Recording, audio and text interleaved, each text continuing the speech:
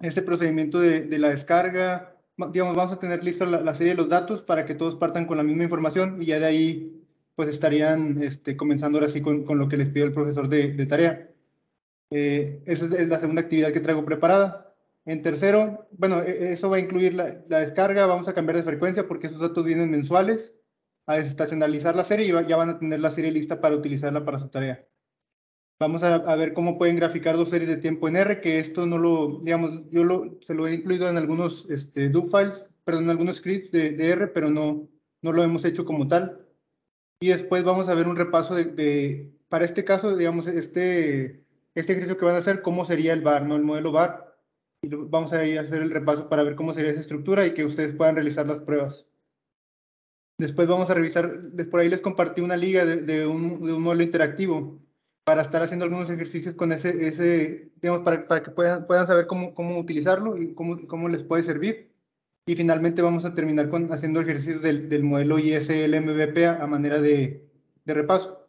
Ya la siguiente sesión, pues empezaríamos con el modelo de Real Business Cycle, ¿no? que, que es el que están, están viendo actualmente en la, en la clase. Y bueno, nada más, eh, también terminando el laboratorio, para, para que estén enterados, les voy a compartir, el doctor me acaba de mandar un correo este, con algunas notas que igual se van a estar comentando el siguiente martes, entonces se las voy a compartir ahí las ligas.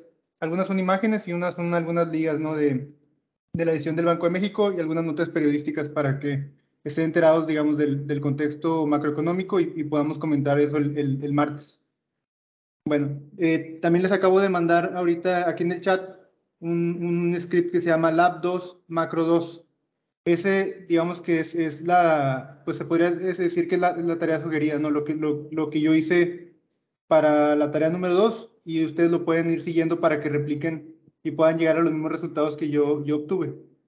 Toda la primera parte la estuvimos revisando en la clase anterior, entonces pueden ejecutar, bueno, solamente lo que necesitan hacer, este, déjenme les voy a pasar estos, estos datos porque si no, no los van a tener. Creo, creo, que también ya se las había compartido, pero se los voy a mandar aquí también para que los tengan disponibles y, y podamos este, estar aplicando el mismo, eh, digamos, trabajando con el mismo conjunto de datos. Les voy a pasar este, este formato, este archivo en formato CSV, que si no mal recuerdo ya se los había pasado, pero igual se los voy a poner aquí para que lo tengan del día de hoy. Y ya, ya está, pero bueno, lo, se lo voy a volver a, a poner aquí.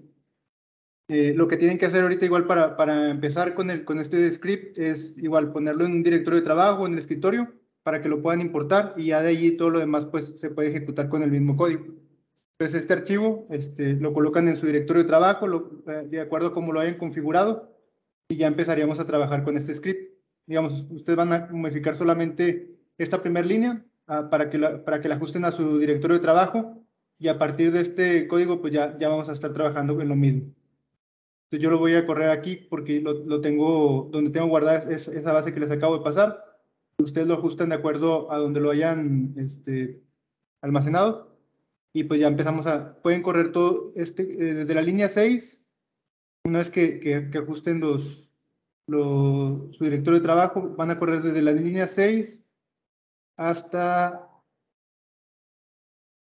aquí, hasta la línea 153. Todo esto lo vimos el, el el laboratorio pasado. Este fue, fue, digamos, el repaso que vimos de, de, la tarea, digamos, hasta donde llegamos en la tarea 1, eh, sería lo, lo, que incluía hasta aquí. A partir de, digamos, donde puse estas dos líneas, ya, ya es lo que, lo que es correspondiente a la tarea número 2.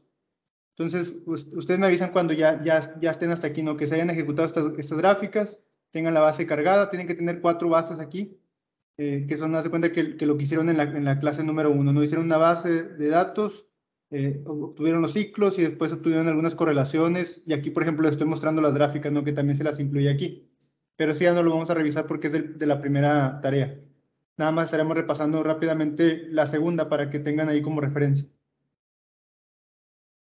Igual si alguien me puede confirmar para, para poder eh, avanzar en esa parte. Si, ya todos están hasta, hasta, este, hasta este punto, ¿no? que hayan ejecutado toda la línea correctamente hasta, hasta la línea 156.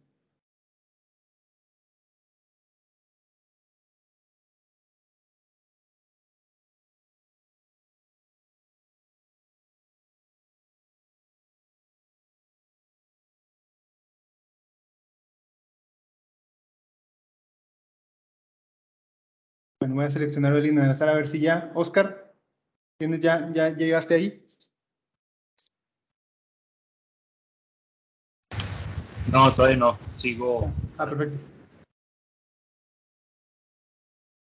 Me contestó otro Oscar que ya casi. Los espero. Ustedes me dicen, cuando los dos Oscar me dicen, vengan que ya están ahí, ya este, les sigo.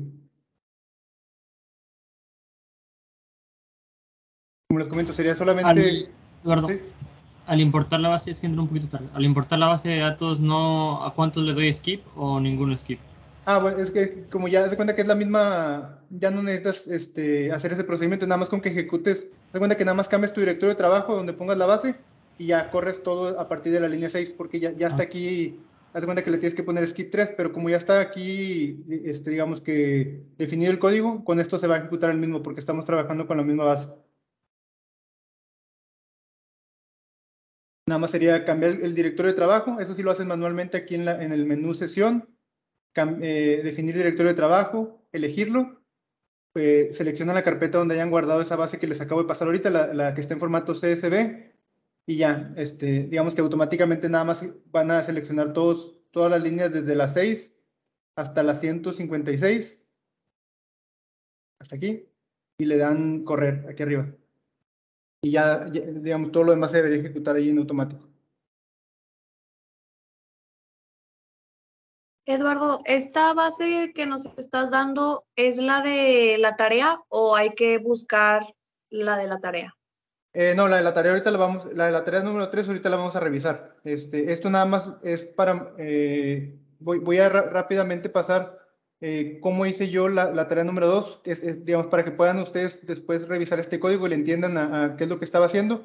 Y esto les va a servir para comparar sus respuestas de la tarea 2 contra lo que ustedes hicieron. Y después ya vamos a empezar a ver la tarea número 3. Ah, Este- ok. Muy, Sí, Gracias. Esta, esta base que les pasé aquí es, digamos que la, la que bajaron para su primer tarea, que son las, las series de, de cuentas nacionales de, este, digamos, el PIB, el consumo, la inversión, el gasto de gobierno, to- todas esas series, las seis series. ¿sí?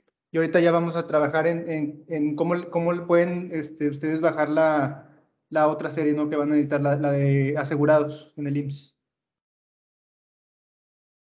ok, gracias. Perfecto. Bueno, ya están todos aquí hasta, hasta la línea 156. Sí, yo ya. Yo también. Perfecto.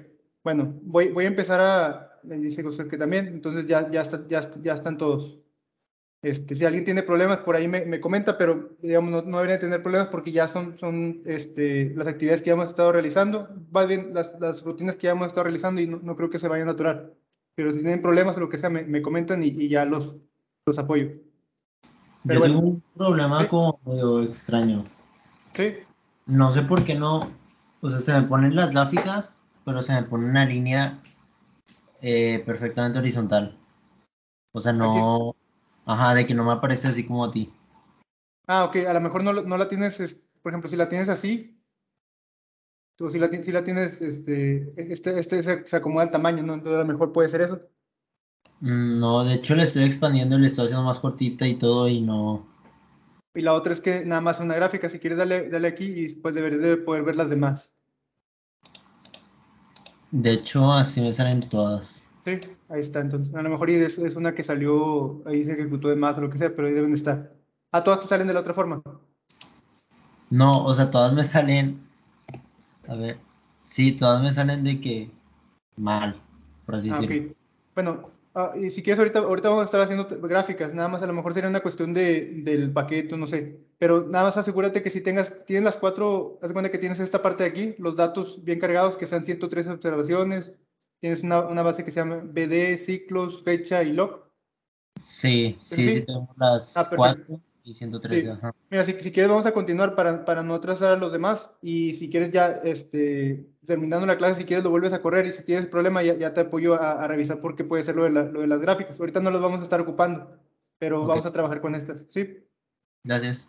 Dale, Luis. Y me, y me avisas si, si por algo sigue apareciendo así y ya lo revisamos qué puede ser. Bueno, entonces a- aquí lo que, lo que les pedían en su tarea es hacer dos subperiodos.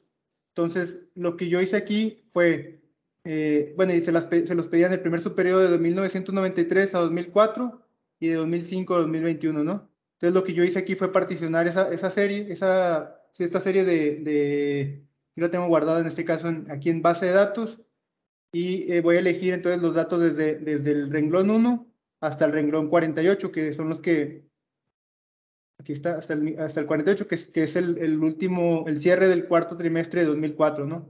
Entonces, aquí este, esta línea es lo que está pidiendo, ¿no? Está, está eh, haciendo un nuevo objeto en el cual se está quedando solamente con las primeras 48 filas. Y ya le estoy quitando, de hecho, la, la, de- la de fechas porque ya no me va a servir. Después eh, voy a declarar esas series como una, como se, más bien este- estas variables que todavía no están definidas como series de tiempo, las estoy definiendo como series de tiempo con los comandos que ya hemos estado re- eh, revisando. Mm.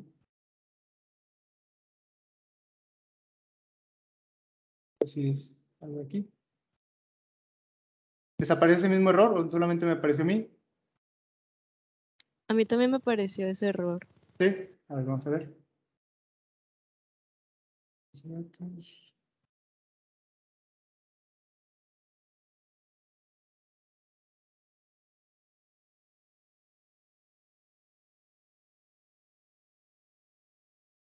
Ah, ok, es que ya, aquí solamente le ponen pip en lugar de y, póngale pip. Lo que pasa es que le- se me hace que le cambié el nombre al final y eso es lo que pasó. Ahí está. Nada más aquí es de cambiarle a esta variable que yo le estaba pidiendo de esta base, le estaba pidiendo que, que, que convirtiera el logaritmo natural de y, pero como el último lo dejé en pi para que fuera más específico de lo que se refería, le puse, nada más le pueden cambiar aquí, en ln-pip y ya va- les, va, les va a tomar bien la, la serie. Bueno, la estructura, pues ya como podemos ver, ya son series de tiempo. Lo mismo hice, pero para el, este, este es para el primer subperiodo. Y después hice lo mismo, pero para el segundo subperiodo. Pero ahora me quedé con de la base original, de esta, de, de esta que está en logaritmos, ahora me quedé de la, de la fila 49 hacia adelante, ¿no? Hacia, hacia, hasta la 103. Y, bueno, una vez que hago ese, segundo subperiodo, igual lo vuelvo a convertir en series de tiempo y aquí va a volver a marcar el mismo error porque esto de aquí es con pip. Va a poder hacer bien. La estructura pues son series de tiempo.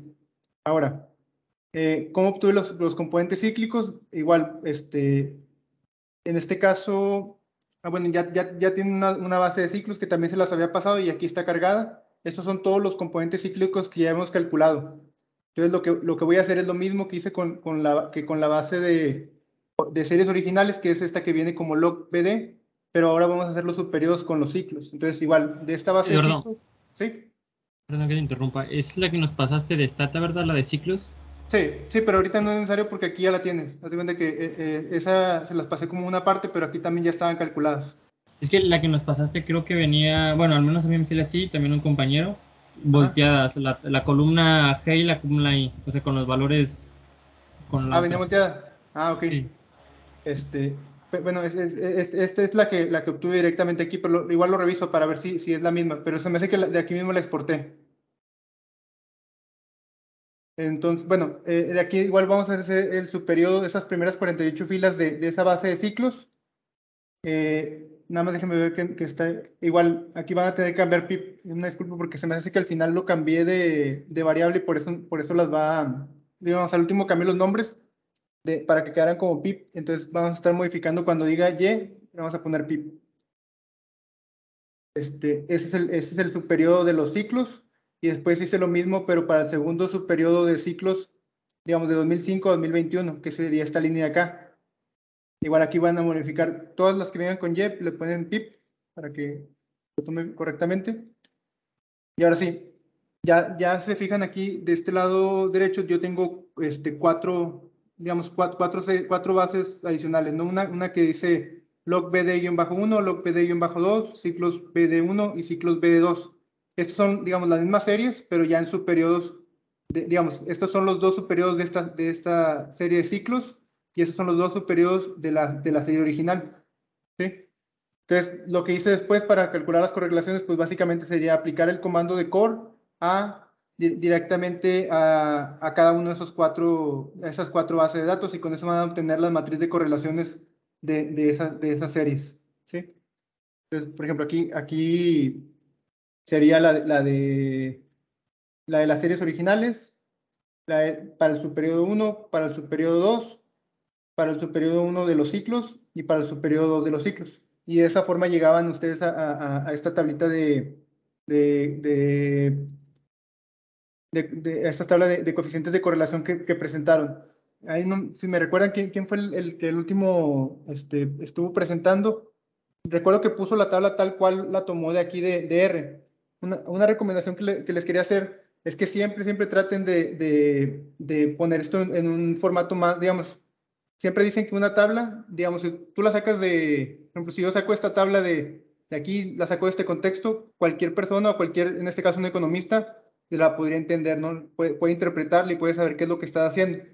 Entonces, sí es bien importante que todas las tablas y, y lo que ustedes vayan presentando traten de que lleve un, un, un formato que, que, permita, por ejemplo, si el, si el, doctor la lee, pues que pueda interpretar qué, es, qué, es, qué está diciendo esa tabla, ¿no? O si la lee un compañero de ustedes que a lo mejor va más adelante, más atrás, pues pueda saber qué es lo que están haciendo, ¿no? Entonces, pues pueden poner un buen título que describa lo que está haciendo la, la tabla, un subtítulo, en las notas pueden decir, ah, bueno, pues este, esto se refiere a las correlaciones, las, series las tomé de, estas, digamos, de esta fuente, proviene de esta fuente, eh, para, para realizar a lo mejor el cálculo de los ciclos, utilicé el parámetro de lambda tal, etcétera. O sea, pueden hacer una descripción buena de, de lo que está diciendo la tabla y eso les va a ayudar bastante a que su trabajo sea mucho más claro y también que pues sea muy profesional, ¿no? tanto para sus trabajos de, de ahorita de licenciatura como también cuando ustedes egresen y vayan a presentar un trabajo, pues siempre vaya bien, bien presentable, ¿no? Nunca traten de no, no, no tomar los datos tal cual vengan de aquí y, copiarlos y pegarlos, ¿no? También otra buena práctica es que muchas veces pues te quedas con ciertas, ciertos decimales nada más, ¿no? Donde, hasta donde sea, por ejemplo, a lo mejor cuatro decimales o tres decimales, puedes redondear esa información pero eso ya es como posterior a, a, a, la estimación y es como un tip, algo recomendable ¿no? que, que, que, pueden adoptar para, para que siempre tengan buenos, buenos trabajos y buena presentación en sus trabajos. Eh, esto es, digamos que esto solamente será la parte, el, como el documento que están utilizando para trabajar, pero ya el entregable es, es algo aparte, ¿no? La redacción o, la presentación que ustedes den, pues es algo ya extra.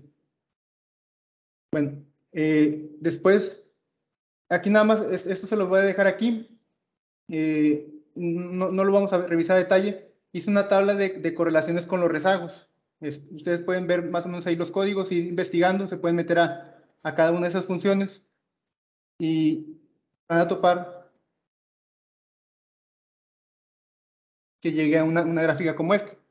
Eh, ustedes pueden, pueden ir siguiendo, eh, digamos, este de aquí lo pueden ir siguiendo nada más y, esto lo hice en preparación como análisis descriptivo para lo que íbamos a hacer del, análisis de causalidad de Granger.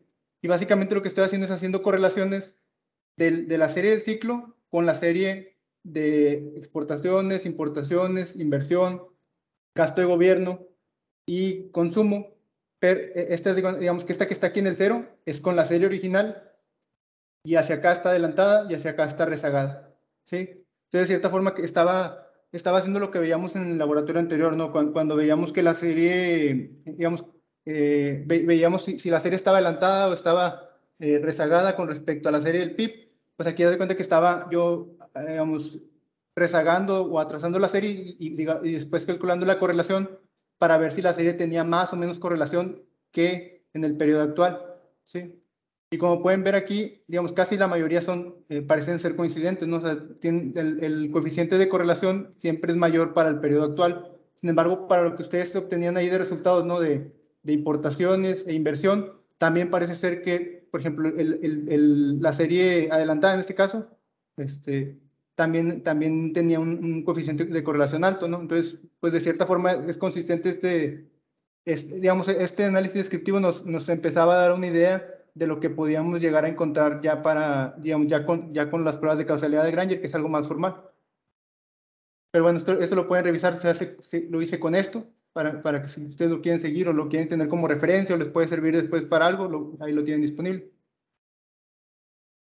Eso hasta aquí. Ahora, ¿cómo, cómo hice? Yo realicé lo del de, tema de, de, las pruebas de, de, causalidad de Granger. Pues como, como lo vimos, ¿no? Este, cargué esta librería que es la de las pruebas, ejecuté todas las pruebas de, de, estacionalidad. En este caso, todas, me salía, todas las series me salían que eran estacionarias. Obtenía un valor crítico por, hacia la izquierda de, la serie. ¿sí?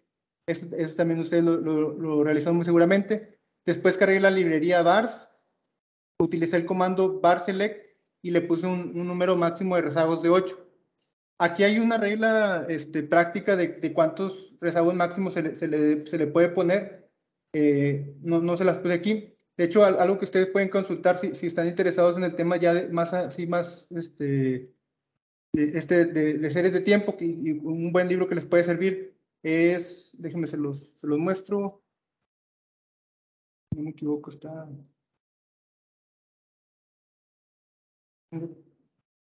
Es este de Stocky, Stocky Watson. Y en la parte de, de, atrás está, por ahí a lo mejor lo pueden encontrar. Ahorita que no tenemos acceso a la, a la biblioteca, en la biblioteca también está. Pero aquí en los últimos capítulos viene una parte de series de tiempo que viene bien explicada y la pueden revisar. Digamos, son, son, son similares a los temas que hemos estado viendo y la pueden revisar a manera de lectura cuando tengan ahí oportunidad o quieran, quieran profundizar en un poquito más en esos temas o cuando ya estén llevando los, los temas. De hecho, aquí viene los criterios de información, que son los que ustedes están utilizando para rezagar o este, para, para seleccionar el número de rezagos. Les muestro nada más para, porque nada más lo, lo comentamos, pero no lo,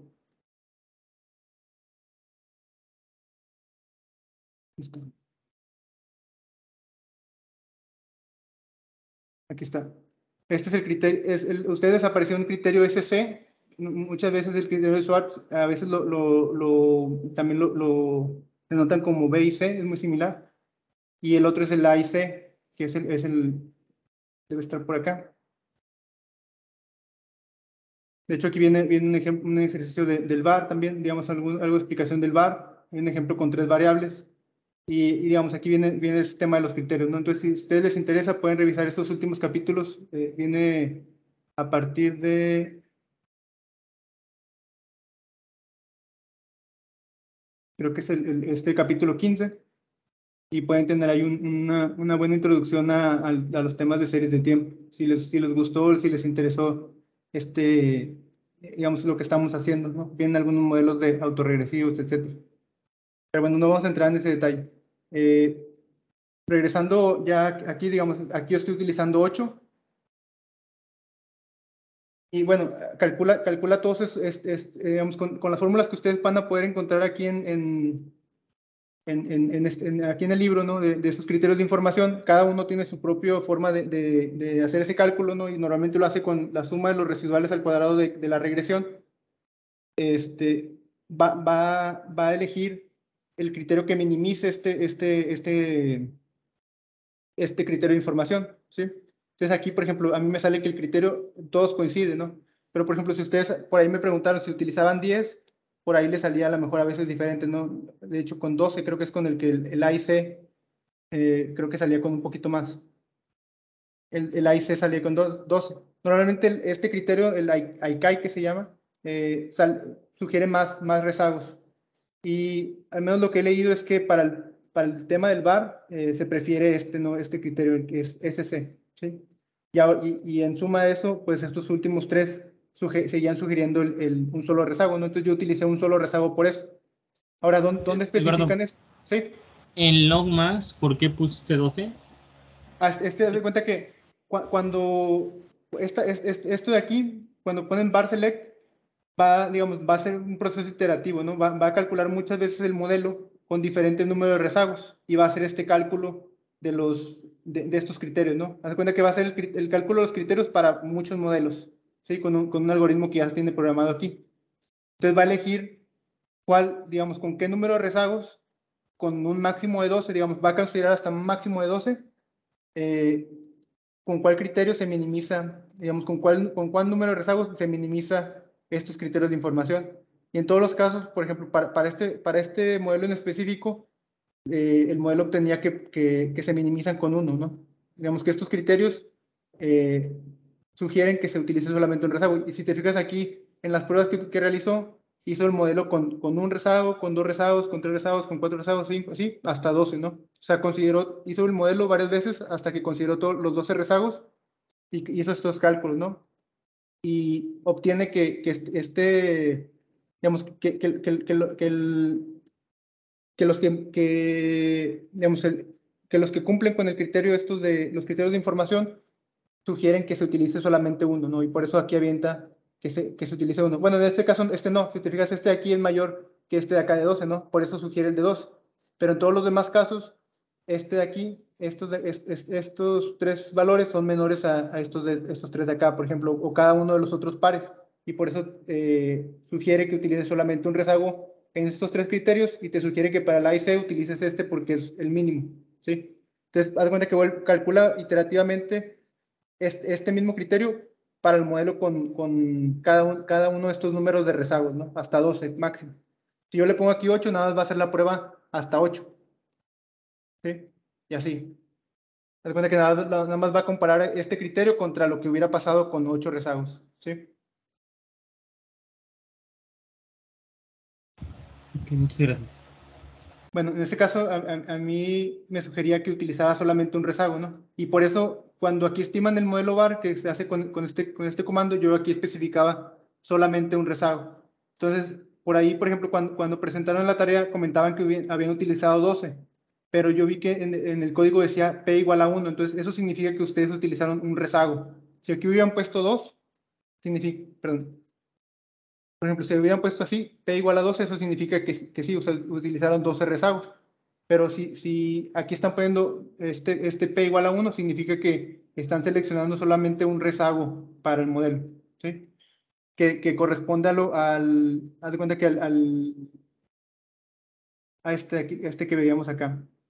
El, haz de cuenta que si ustedes ponen P igual a 1, lo que estaban corriendo es este modelo.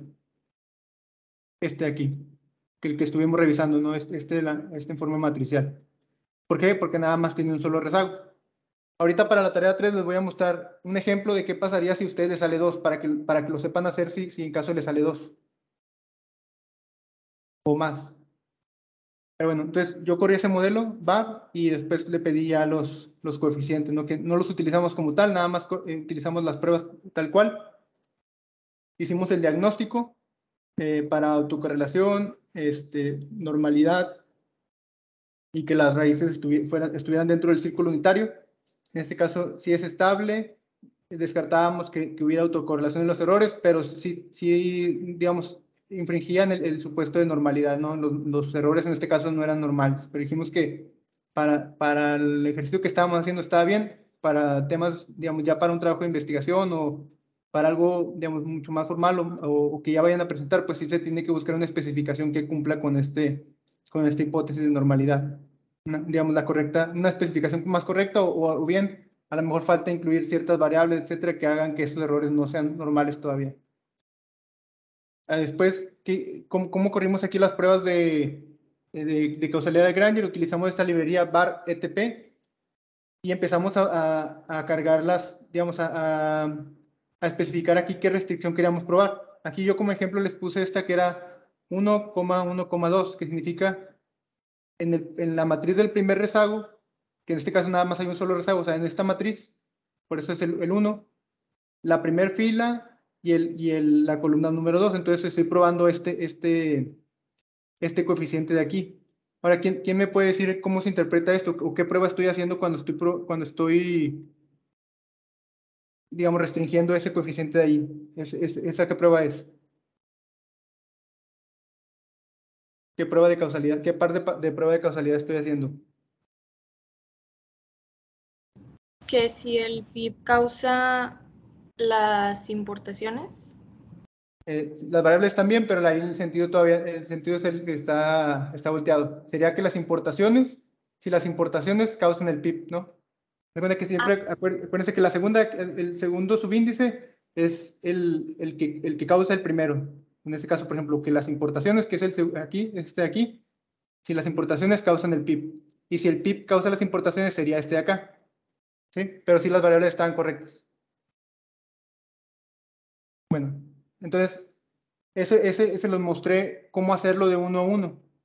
Ustedes, pues, eh, digamos, aquí yo les, yo les, les, platicaba que en Stata, y les voy a poner este ejemplo de Stata, el, si, ustedes después utilizan por algo Stata o ya, ya que estén en la facultad se les hace más fácil trabajar con Stata, se van a dar cuenta que el, al menos para el VAR eh, y, y para esas pruebas de causalidad es, es muy directo el, el comando, no nada más es una línea y ya les hace todo el procedimiento.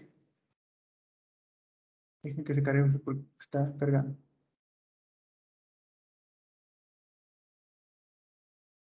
Bueno, ah, lo, eh, lo haces, digamos, tú, tú le pones así par Granger y te corre todas las pruebas. Entonces, yo aquí, en este que les paso, les incluyo una forma de hacerlo, de hacer, digamos, hacer todos esos pares de pruebas, ¿sí? Ustedes van aquí a, a este que dice, perdón, tenía que poner.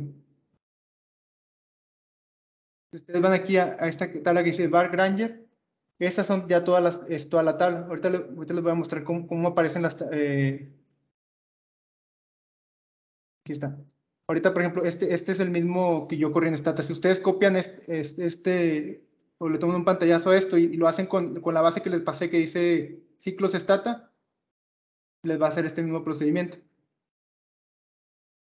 Nada más quiero mostrarles, este, aquí por ejemplo en este caso, para seleccionar variables en, en Stata es con este bar stock, les dice qué número de rezagos es el que sugiere, este es el que estima el modelo y este es para realizar las pruebas de causalidad. Y, ya con, y, y esta es la forma que se declaran las series de tiempo en, en Stata. ¿sí? Todo lo demás no lo dice, nada más es esto. Pero bueno, Stata les va a aventar una tabla como esta, donde ya les, les muestra todos los pares, ¿no? Por ejemplo, aquí es, esta es la prueba de si las importaciones causan el PIB, les da el p-value, les da el valor de la prueba. Si el, si el consumo causa el PIB, les da el p-value, ¿no? Aquí, por ejemplo, que se encuentra, si vamos a los datos de Stata, encontramos que el, el logaritmo natural de las importaciones sí causa el PIB, ¿no? Y que la inversión sí causa también el PIB, ¿sí? Por eso eh, estos dos que fueron los que ustedes presentaron, ¿no? Y, al último les hace una prueba conjunta, ¿no? De si todas las variables explican el PIB o no. Y pues en este caso sí, porque alguna de ellas es, es significativa, ¿no? Pero pues no nos dice mucho este si, si queremos saber exactamente cuál. Y después les, les, les arroja también todas las demás combinaciones. Nosotros nada más hicimos las de la primera, estas que les mostré aquí, ¿no? Haz cuenta que esta, hicimos este, este par, la primera fila y la primera columna, pero también las pruebas de causalidad se pueden hacer para todo el resto de coeficientes y esos son todos los que les arroja hacia abajo, ¿sí? Entonces aquí en este, en este código que les, que les incluyo, también está eso mismo, nada más que como un poquito diferente, pero es, lo mismo, ¿no? Y le puse los mismos nombres para que pudieran seguir, es, es, digamos que tuviera los mismos nombres que este de, de Stata, ¿no? Entonces dice, eh, la, la, que es excluida es la que causa la, la ecuación o, o, la variable dependiente. Entonces, por ejemplo, aquí podemos ver lo, casi los mismos resultados, ¿no? Salen un poquito diferentes el, el, porque incluso si ustedes corren el bar aquí en Stata y corren el bar en, en R, van a obtener diferentes coeficientes también. Ustedes pueden revisar eso. No son exactos, porque muy seguramente el código que utilizan para, digamos, el algoritmo que utiliza para realizar todo el, el, el cálculo es, si difieren algo, pues van a cambiar ahí las, las decimales, etcétera. Entonces no va a salir exactamente igual, pero sí, sí debería de, deberíamos de poder concluir los mismos resultados. Aquí, por ejemplo, en este, en este caso encontramos lo mismo, ¿no? Que el logaritmo natural de las importaciones causa el PIB al, al, al nivel de significancia del 5% y también que las importaciones causan el PIB, ¿no? Y el valor de la, del, del, estadístico de F también, si se fijan, es similar. Y hacia abajo están todos los demás, los demás pares. ¿Sí? Entonces, digamos que los resultados son, son los mismos que ustedes, ustedes, presentaban. Esta es una forma de hacerlo eh, automatizado. No, ahorita no voy a entrar en detalle de, qué hacen cada uno de estos, porque si no me recuerdo, ahora que están viendo el tema de, de Real Business Cycle, hay un ejercicio que a lo mejor les pone el profe de, de introducir un choque. Y si se los pone, en ese, en ese caso vamos a, a, hacerlo, vamos a hacer la simulación aquí y podemos aplicar eh, lo que es esto, ¿no? que es un, es, un, es un loop. A lo mejor ya lo están viendo en algo similar en Python, que es una rutina en la cual es, todo lo que está dentro, digamos, como de este sándwich o de esta hamburguesa o, de, o de, este, de estos paréntesis, se está ejecutando una y otra vez, mientras que las condiciones que yo le especifico aquí se siguen cumpliendo.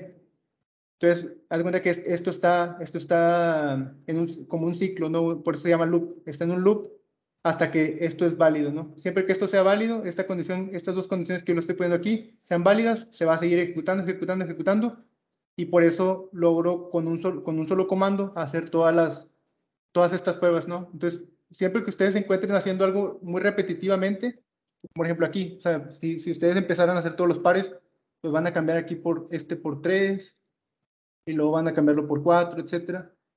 Y así ¿no? se, van a ir, se van a ir cambiando cada uno manualmente.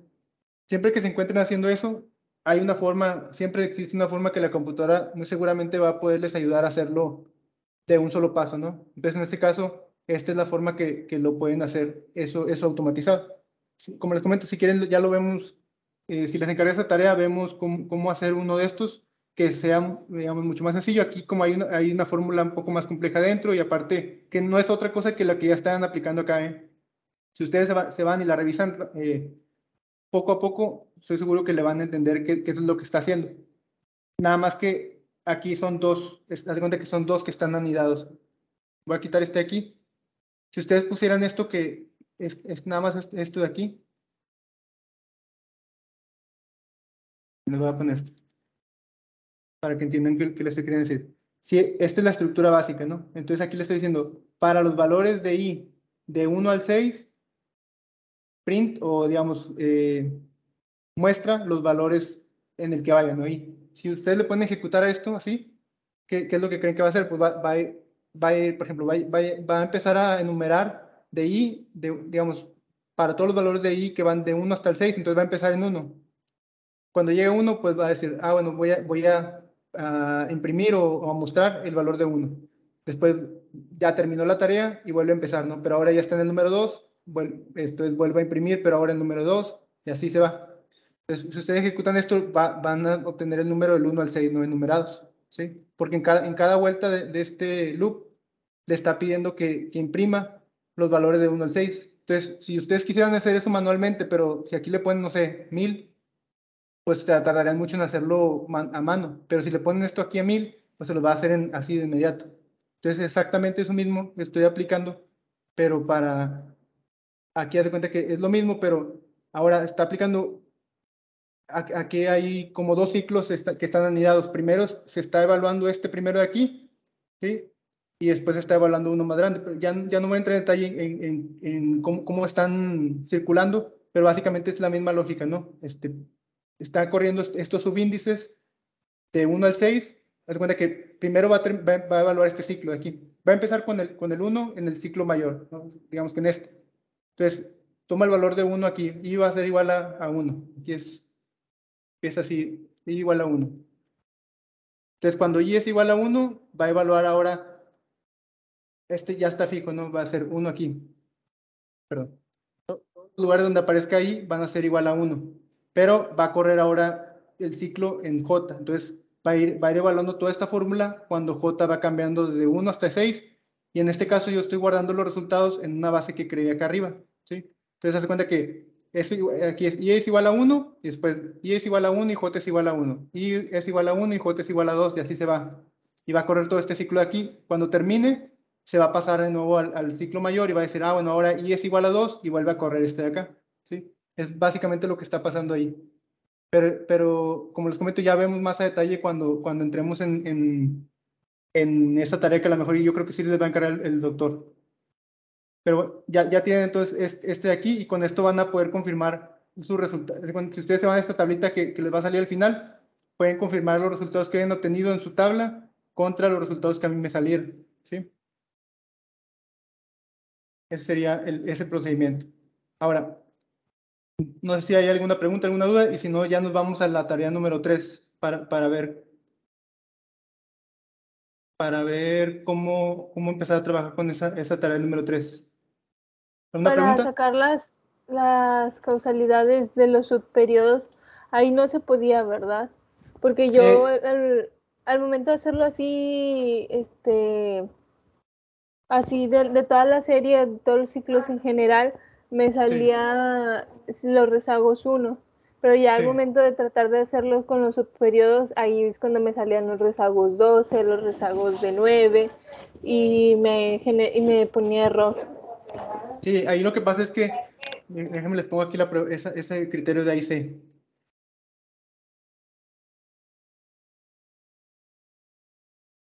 Este, con, con este BIC. La otra, se cuenta que el, el es muy similar, nada más cambia la segunda parte. Pero si, es, de cuenta que esta es la fórmula que está calculando cuando, cuando ustedes le piden que, que seleccione el número de rezagos. Y se fijan, va a depender de T. T en este caso es el número de, de observaciones o la longitud de la serie. Entonces, si la T cambia de tamaño, va a elegir un número diferente de, de muy seguramente también puede, puede ser que elija un diferente criterio de, de, de información, ¿no? Entonces, va a depender de, de, esa T y también va, va, a depender de esta parte aquí, que aquí no, no, está, no está tan explicada, digamos, tan desarrollada, pero básicamente es la suma de los errores de la regresión que están corriendo, ¿no? O sea, todo lo que no se explica en la regresión también está aquí. Y eso también está cambiando cuando tú cambias el, el, la longitud de la serie. Entonces, lo que está pasando ahí es que tú estás dejando una serie más cortita. Y como vimos acá, haz cuenta que esa serie, esa, esa, como es un modelo bar, y tú le pides más rezagos, cada vez que tú le pidas un rezago más, es equivalente a, pedirle una matriz de estas más. O sea, con seis variables, estás pidiendo, dijimos que eran 36, no, 36 coeficientes aquí. Pero si tú le pides un rezago más, está, está ocupando 36 eh, coeficientes, estimar 36 coeficientes más. Entonces va a llegar un momento en el que, si, si se acuerdan, nosotros tenemos una, nada más 161, no, 130, 113 observaciones en este caso. Entonces, y de hecho para los superiores, si te fijas, nada más tienes 48 y 65. ¿sí? O sea, se cuenta que quedan de longitud 48 y 65. Entonces, con 48 observaciones, tú quieres estimar 36 eh, coeficientes más, más, los, más las constantes entonces ya se vuelven aquí pues casi 40, ¿no? O sea, casi, casi con, con 48, 48 observaciones quieres estimar, perdón, aquí se me fue, con 48 observaciones quieres estimar todos estos parámetros. Entonces ya si le pides dos rezagos, pues casi casi estás pidiéndole estimar el doble de parámetros que las observaciones que tienes. Entonces va a llegar un momento en el cual te tiene que mandar ese error, ¿no? Porque no, no puede estimar tantos parámetros con poquitas observaciones. Entonces, por ese lado, por eso, por eso te comentaba que muy seguramente, no estoy seguro que, es el, que sea el error eh, que, te, que, te, muestra, pero muy seguramente es por eso, porque a lo mejor la serie queda muy chiquita y no tiene los suficientes datos para que pueda, digamos, por, eso, por eso no te puede, no, no, te da un cálculo ahí sensato, ¿no? De, de, cuál es el número que tienes que utilizar. Y si utilizaras muchos rezagos, imagínate que cada vez que tú le pides un rezago, como son series trimestrales, cada rezago corresponde a irte un trimestre hacia atrás. Entonces, por ejemplo, aquí nosotros estamos considerando las series, por ejemplo, un trimestre hacia atrás o un trimestre hacia adelante, que, que sería casi, casi equivalente, un trimestre hacia atrás. Pero si tú le pides 12, 12 rezagos, pues estás, son que son tres años, ¿no?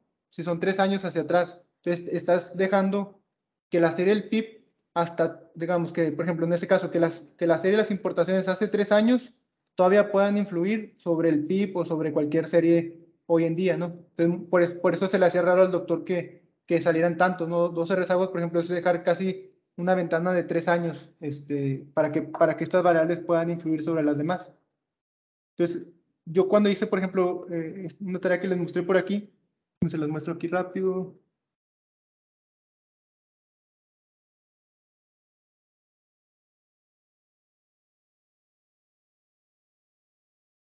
Está. Esta tarea, esta tarea, hicimos una tarea similar el año pasado y a mí me salían, por ejemplo, utilicé igual esta misma serie, nada más que aquí nos pidió aparte la tasa real de interés. Y en este caso a mí me salía que tenía que utilizar cuatro rezagos. Entonces yo utilicé cuatro rezagos aquí.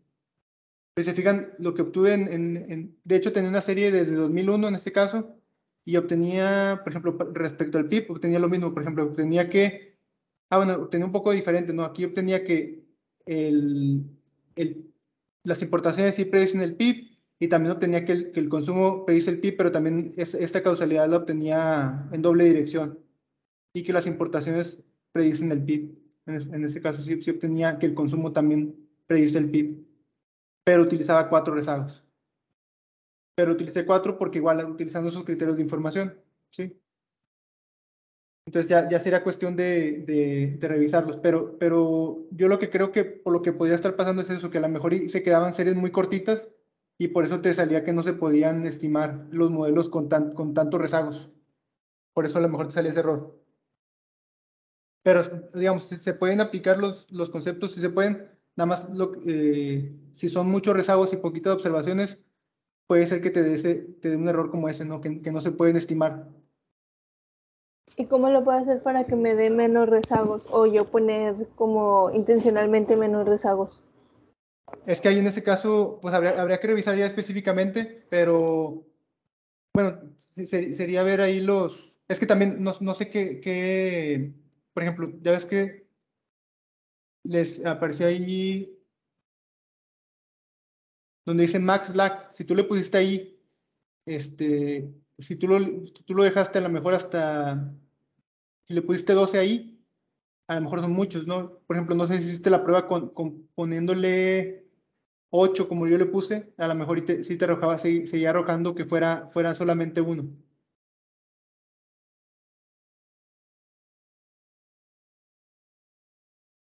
Está, déjame, voy a entrar aquí. Aquí donde dice, aquí donde, donde está seleccionando, no sé qué número habías puesto aquí, en el, número máximo de rezagos que estás permitiendo. Si le, si le, pones a lo mejor 8 o si le pones menos, tal vez sí te sugiera ahí un número menor. Si le pones 12, a lo mejor y, y, también desde ahí, pues ya está considerando muchos rezagos desde inicio, ¿no? 8 es considerar, o sea, dejar que como máximo tome dos, dos años, ¿no? O sea, que, que pruebe si hasta con dos años de rezago de las variables puedan tener alguna alguna, o sea, puedan influir sobre o pueden ayudarnos a predecir el valor actual de las series.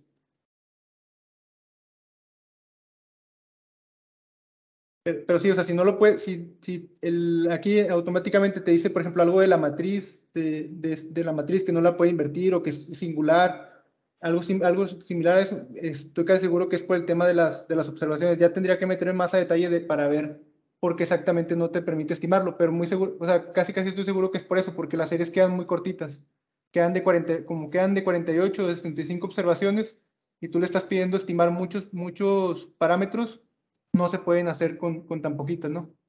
Por eso, es por eso el, el, tema, casi estoy seguro que es por eso, pero igual, este, si quieres lo, ya lo revisamos más a detalle, eh, inténtalo con este, poniéndole aquí 8, a ver si, si te sugiere menos y si no, pues ya lo revisamos de por qué puede ser, pero casi estoy seguro que es por ese tema de las observaciones y el número de parámetros que tiene que estimar. Ok, sí, gracias. Lo, voy, lo, voy a lo voy a apuntar y lo voy a hacer más tarde, a ver si me sale. Sí. Bueno, vamos a empezar con la, con la tarea número 3. Les voy a pasar aquí eh,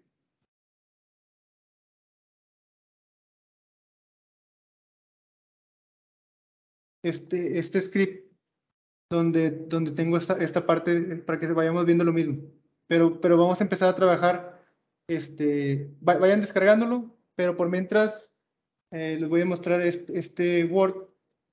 Digamos, ténganlo, ahí listo. Vamos a entrar a esta, esta página, ¿no? Que se llama datos. Si ustedes le ponen datos abiertos IMSS o se lo voy a pasar también aquí en el chat para que entren.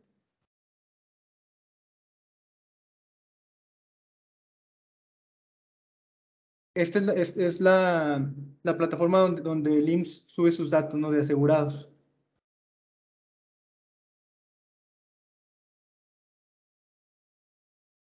Entonces, ustedes pueden tener un detalle de, todas de todos los asegurados que están registrados, ya sea como totales o permanentes. Y algo, algo importante hay que mencionar, en el glosario ustedes también pueden revisar a qué se refiere eh, trabajadores afiliados permanentes o eventuales. Eh, ¿Alguien que me quiera ayudar a leer esto para, para que todos eh, sepan a qué se refiere la diferencia? Esta parte de aquí.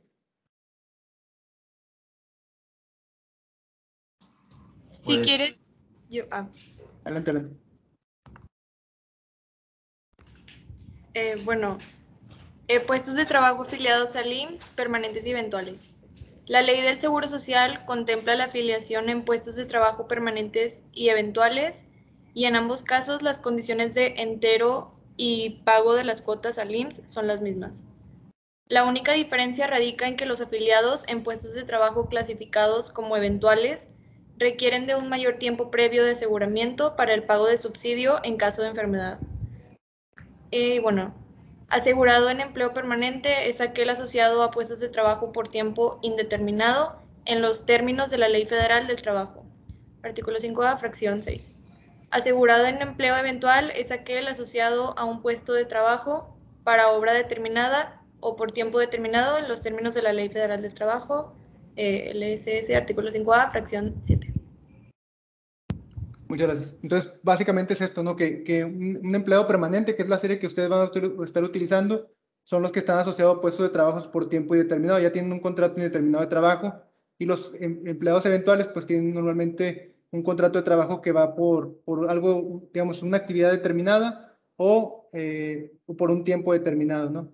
Y en, cuanto a prestaciones, pues básicamente lo que dice es casi las mismas, son que los, los que son eventuales requieren de más tiempo para tener este, este, este tema del aseguramiento para el pago de subsidios en caso de enfermedad, digamos, para tener este derecho. Pero para, nuestros, para los términos de lo que van a ocupar, con que, con que, digamos, con que puedan entender esta parte de aquí, ¿no? que es, son los, los, la serie de, de trabajadores eh, permanentes, son los que ya tienen un contrato de trabajo por tiempo indeterminado. Y nosotros vamos a tener esta serie de, de trabajadores permanentes, asegurados permanentes, y la, la total, entonces, se me hace que ya, ya, ya pudieron entrar a, a su... Ah, se, se, me pasó a decirles, ¿tiene algún representante de grupo? O, o a, alguien que normalmente esté como responsable.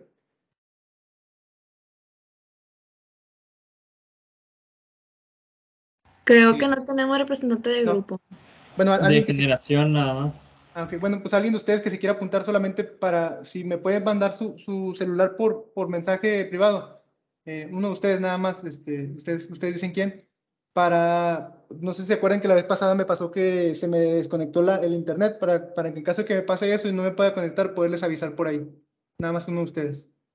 Si quieres, yo me puedo apuntar. Salud. Nada más para tenerlo ahí disponible y en caso de que me llegara a pasar, pues ya, ya les, les aviso por medio entonces de Luis en caso de que no, digamos, no me pueda conectar o que se, no vuelva el internet para que estén, estén enterados.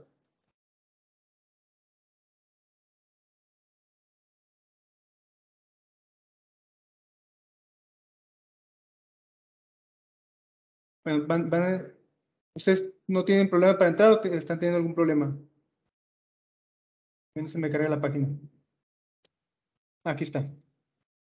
Bueno, Van, van, ya todos están en esta página, ¿verdad? Por mi parte, sí. Sí, perfecto. Bueno, aquí van a tener varios apartados. Es, dice, como comentó el doctor, está un poquito complicado porque tienen muchas cosas y están medio desordenadas. A mí se me hace que está medio desordenada la página. Y de hecho, si ustedes entran, entran a cada una de esas carpetas, se van a encontrar con el detalle, ¿no? Si, si, si ustedes fueran a hacer un, un análisis más específico, pues sí tendrían que ir a cada una de estas carpetas eh, a ver, por ejemplo, para cada año en específico, un mes en específico. Pero en nuestro caso nada más nos basta con ver series de tiempo. Entonces, si se van aquí arriba, en este menú donde dice series de tiempo, ahí es donde vamos a poder descargar la, la pura serie, ¿no? que es la que nos interesa a nosotros. Entonces, se van a series de tiempo. Y van a, van a seleccionar en este menú puestos de trabajo por modalidad. Y ya, haz de cuenta que aquí van a tener pues todos los meses para los que el IMSS tiene disponible esta información, que, que empiezan en julio de 1997 hasta, creo que es el primer trimestre de 2000, bueno, perdón, esto viene por mes, hasta febrero, está hasta abril 2021, ¿sí? Les aparece toda esta, esta, esta tabla.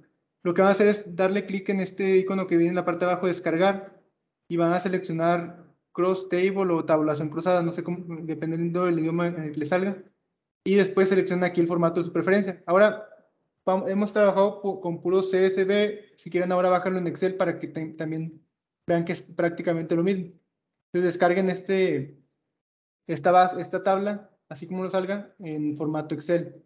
Le dan descargar y se les va a descargar un formato, una, un archivo que se llama modalidades.xlsx.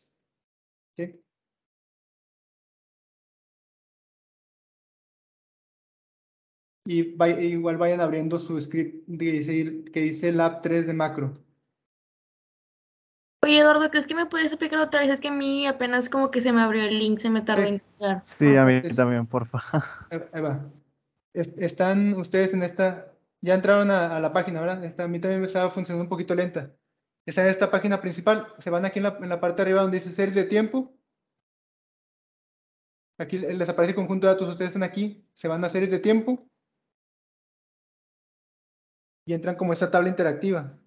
Y aquí en- aparece otro menú en la parte de arriba. Ya llegaron a esta, ¿verdad? Sí, ahora sí ya. Y van a, van a seleccionar puesto de trabajo por modalidad. Aquí arriba. ¿Sí? Se fijan, lo que, lo que tiene aquí son todos los años y tienen puestos de trabajo totales, eventuales, y luego los eventuales se dividen en, del campo y urbanos, o sea, rurales y urbanos, y los permanentes son permanentes eh, igual, rurales y, rurales y urbanos. ¿sí? Nosotros nos vamos a quedar solamente al final con los puestos de trabajo y con los puestos de trabajo permanentes, o sea, con estas primeras dos. Pero ahorita, ahorita eso ya lo hacemos en R. Entonces, se van aquí abajo y le dan clic a este icono que, de descargar, descargar, y aquí les aparece una opción que dice tabulación cruzada, o si, si está en inglés le va a aparecer como cross table o algo así. Le dan clic aquí y seleccionan Excel y le dan descargar. Y se le va a descargar un formato, o sea, ahí en su carpeta de descarga se le va a descargar un archivo que se llama modalidades.xlsx.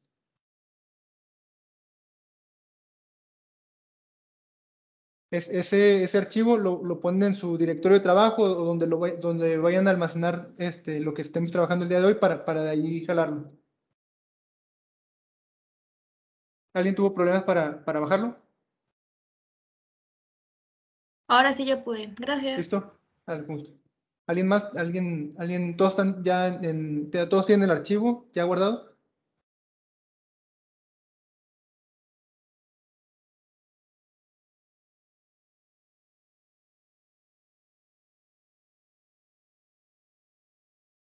Yo voy a limpiar es- esto que tengo aquí para... Ok, bueno, va- van a, igual definan su, directorio de trabajo y donde guarden el, el- ese archivo que acaban de descargar, este, nada más lo, lo pueden, digamos, lo pueden definir aquí directamente manual o lo pueden, pueden poner la dirección, ¿no? Yo ya lo tengo aquí programado. Definen el directorio de trabajo y a partir de aquí vamos a empezar a trabajar ya con, con estas líneas. Pa- para importar Excel, igual lo pueden hacer manualmente o lo pueden hacer con este código que viene aquí. Desde archivo, importar eh, base de datos y le pueden, nada más que ahora, en lugar de ponerle desde texto, le van a poner desde Excel. Y aquí pueden buscar el archivo, ¿no? Que es este de modalidades. En mi caso, pues ya lo tengo aquí programado y como en este caso sí se, se va a pasar correctamente la, la base, no hay necesidad de cambiarle o brincar ninguna, ninguna celda, o sea, ya, ya, ya viene correctamente la base de datos, entonces nada más le ponen, este, lo importa directamente.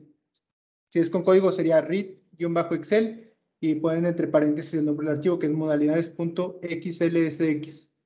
Si se fijan, eh, lo, que se, lo que se importó a su AR es, es la misma base que estábamos viendo en, en, en internet, ¿no? Con todos los meses y las, ca- cada una de las columnas con, con la serie de, de datos.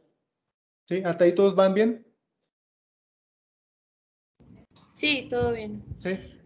Bueno, lo que hay que empezar a hacer aquí es, primero hay que elaborar un vector de fechas que ustedes lo les va a servir porque eh, cuando ustedes hagan gráficas van a, van a, digamos, a nombrar este, este vector, digamos, este vector es el que les va a servir. Si fijan aquí las fechas no vienen en buen formato, vienen como julio 1997, etcétera, vienen con letra y esto R no lo va a identificar como una fecha. Entonces ustedes tienen que hacer un vector este, o al menos así lo trabajo, yo siempre hago un vector aparte y es el que utilizo para como fechas. Entonces esto es con, el comando, con este comando que ya les había pasado. Util- primero cargan esta librería que se llama lubridate, que, que les sirve para, para manejar fechas. Aquí van a especificar el periodo de, de inicio de la serie. Se fijan, esta serie empieza en julio de 1997. Y como les comentaba, las fechas aquí en este, para, para este, para este paquete se pone primero el mes y luego el día. Entonces es el año 1997, julio, el primer día. ¿Y qué, qué, longitud tiene la serie? Esto lo pueden averiguar si ustedes corren este comando. Si le ponen length y entre paréntesis eh, le ponen modalidades y seleccionan, no sé, cual- cualquiera de las, de las series. Por ejemplo, modalidades, signo de pesos, puesto de trabajo. Le dan enter y les va a decir que esa serie tiene una longitud de 286 filas. O sea, son 286 filas, o también lo pueden ver aquí, o pueden este, irse a la, a la, base, ¿no? Hay diferentes formas de, de cómo lo pueden, pueden saber ese número. En, en, este caso, entonces, empezamos en 1997, son 286 filas, y las series son mensuales, entonces aquí tiene que decir by months, ¿sí? Porque son meses. Y la otra cosa que tienen que modificar en este, en, este serían también aquí son meses, ¿no? Eh, con respecto a los otros que estuvimos manejando que estaban en trimestres. Corren estos dos, estos dos comandos y van a tener ya un vector de fechas. Si se fijan, este vector de fechas son todas las fechas desde, desde el a cierre de, de mes, desde, el, desde julio de 1997 hasta el último día de abril del 2021. ¿sí? Ahora, este vector de fecha lo vamos a juntar con las dos series que nos interesan y de una vez, si se acuerdan, el profe se los pidió en logaritmos, entonces vamos a, a transformar esta fila y esta fila logaritmos, la vamos a sacar de esta, de esta tabla y se la vamos a pegar también a la, a la, digamos, vamos a poner, vamos a hacer otra nueva base que tenga como primer columna las fechas que acabamos de hacer y como columna 2 y 3 estas dos series, pero en logaritmos. Entonces, esto lo hacemos mediante este comando. ¿Sí? ¿Por qué era el days menos uno? Ah, ok. Es que si tú explicas nada más esta parte de aquí, vas a ver que te va a calcular, no te va a calcular exactamente el último día del, mes. Entonces, esto es como que una forma que el código entiende que quieres el último día. Eh, digamos, esta combinación, ceiling date menos days 1, te da exactamente el último día del, del mes y si le das de la otra forma, no te lo va a calcular exactamente, ¿no? Entonces, nada más es por convención de cómo está este, cómo, cómo, cómo funciona este, este, tema del ceiling date, le tienes que restar un día para que te dé el último día. O sea, no sé por, no sé por qué así lo, lo digamos, quien creó ese, esa función mmm, no te da exactamente la fecha, esa fecha que tú quieres, ¿no? Le tienes que restar un día para que te dé el último día del mes o el cierre del, periodo que quieres, ¿sí? Esto siempre va a ir para que te dé, si tú quieres que te dé el, el cierre del mes, siempre le pones esto, el, menos days 1. Pero es por cómo está, digamos, cómo está configurado este, esta función de ceiling date. Digamos que, que, por ejemplo, para el, para el cierre del primer trimestre te va a dar el primero de abril si tú no le quitas esto de days 1. Y si le quitas un día, pues ya ahora sí te da el último día de marzo. Bueno, entonces Aquí vamos a crear una nueva base de datos que, en, la cual, en la cual la primera columna sea fecha.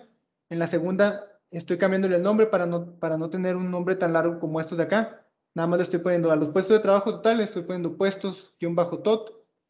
Lo estoy declarando como una serie de tiempo y estoy aprovechando para convertirlo a logaritmos. Entonces, cuando llamo la serie, la convierto en logaritmos y después le, le especifico aquí qué periodo tiene la serie, ¿no? Empiezan en el mes 7 de 1997 y terminan en el, en el mes 4 de 2021. Y son meses porque le estoy poniendo aquí frecuencia de 12, porque son mensuales.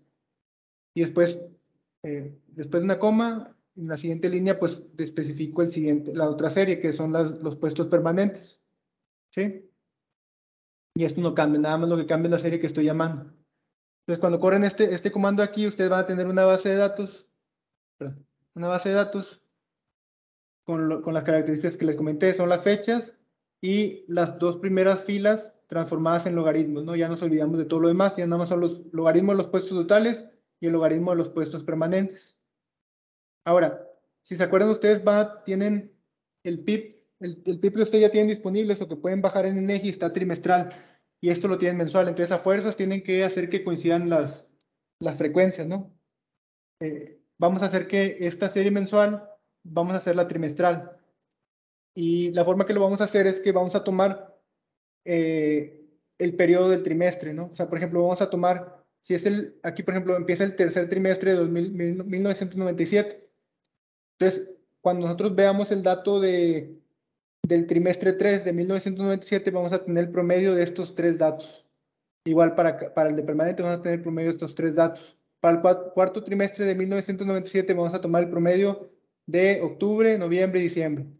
Para el primer trimestre de 1998 va a ser el, promedio de enero, febrero y marzo, y así, ¿no? Entonces vamos a calcular la serie trimestral tomando el promedio de cada uno de los trimestres. Esto igual lo, pueden, lo podrían hacer en Excel y después importarla, pero aquí les estoy mostrando cómo lo pueden hacer, digamos, para que todo lo manejen aquí y el día de mañana que vuelvan a, a trabajar con la serie de, de, de LIMS, pues ya saben cómo cambiarla de mensual a trimestral, ¿no? En, en R. Entonces, primero, lo que hay que hacer es que esta, esta, este vector de fechas no nos va a servir, porque si fijan, este vector de fechas son meses. Entonces queremos hacer, primero, preparar un vector de fechas, pero ahora con trimestres. ¿Sí? O sea, por ejemplo, ahora nada vamos a, vamos a tener la fecha en el cual cierra el trimestre. ¿Y esto cómo lo hacemos? Con, con, realizando la misma operación que les mostraba antes, nada más que ahora, una, la longitud va a cambiar, ahora son nada más 95, son 95, este, digamos, pasamos de 286 datos eh, mensuales a 95 trimestres, porque vamos a tomar los promedios, los promedios en grupos, digamos, vamos a hacer grupitos de tres, y van a ser trimestres ahora. Entonces empezamos en la misma fecha, pero ahora tiene una menor longitud la serie y, y, son trimestres. Y aquí abajo lo que actualizan es esta parte que dice trimestres. Igual vuelven a dejar esta parte que dice days 1, como, como comentaba ahí eh, Perales. Entonces, si ustedes corren este, este, este comando aquí, ahora van a tener un, un segundo vector de fechas, pero estas fechas son los cierres de los trimestres. Entonces, por ejemplo, por eso me brinco de, nos vamos a los de 1997 y empezábamos en el tercero. Este es el cierre del tercer trimestre del 97 y este es el cierre del cuarto trimestre, o sea, es el último día del año. Este es el cierre del primer trimestre de, de 98, del segundo, del tercero y del cuarto. ¿sí? Ya tenemos un vector de fechas. Ahora nos, lo que nos falta es tomar los promedios de, de, la serie, de esta serie, ¿no? O sea, ya tenemos esta base de datos, son mensuales, ahora quiero, quiero hacer los promedios. Y para hacer eso, encontré una forma que es un poco más, más corta que, que lo que les habíamos mencionado la vez pasada, y es con esta función que se llama agregar. ¿sí? Entonces vamos a volver a declarar una, una base de datos. Ahora vamos a guardar el vector de fechas trimestrales, que es este que acabamos de crear. Y para las otras dos series, lo que vamos a hacer es aplicar esta función que se llama agregar. Vamos a, vamos a llamar a, a la serie que queremos agregar, por ejemplo, en este caso los puestos totales, que son estos que, y ya están en logaritmos, todo esto ya está en logaritmos. Ahí tengo un mensaje. Dice Eduardo, me sale un momento de cargar. Library. Ah, ok. Lo que puede pasar ahí, no sé si eso ya lo resolviste, es, bueno, una, una, algo que puede hacer es este, cerrar tu y volverlo a cargar y a ver si funciona. Y la otra cosa es que eh, te fijas, te asegures que sí esté instalado. O sea, se cuenta que antes de, haberlo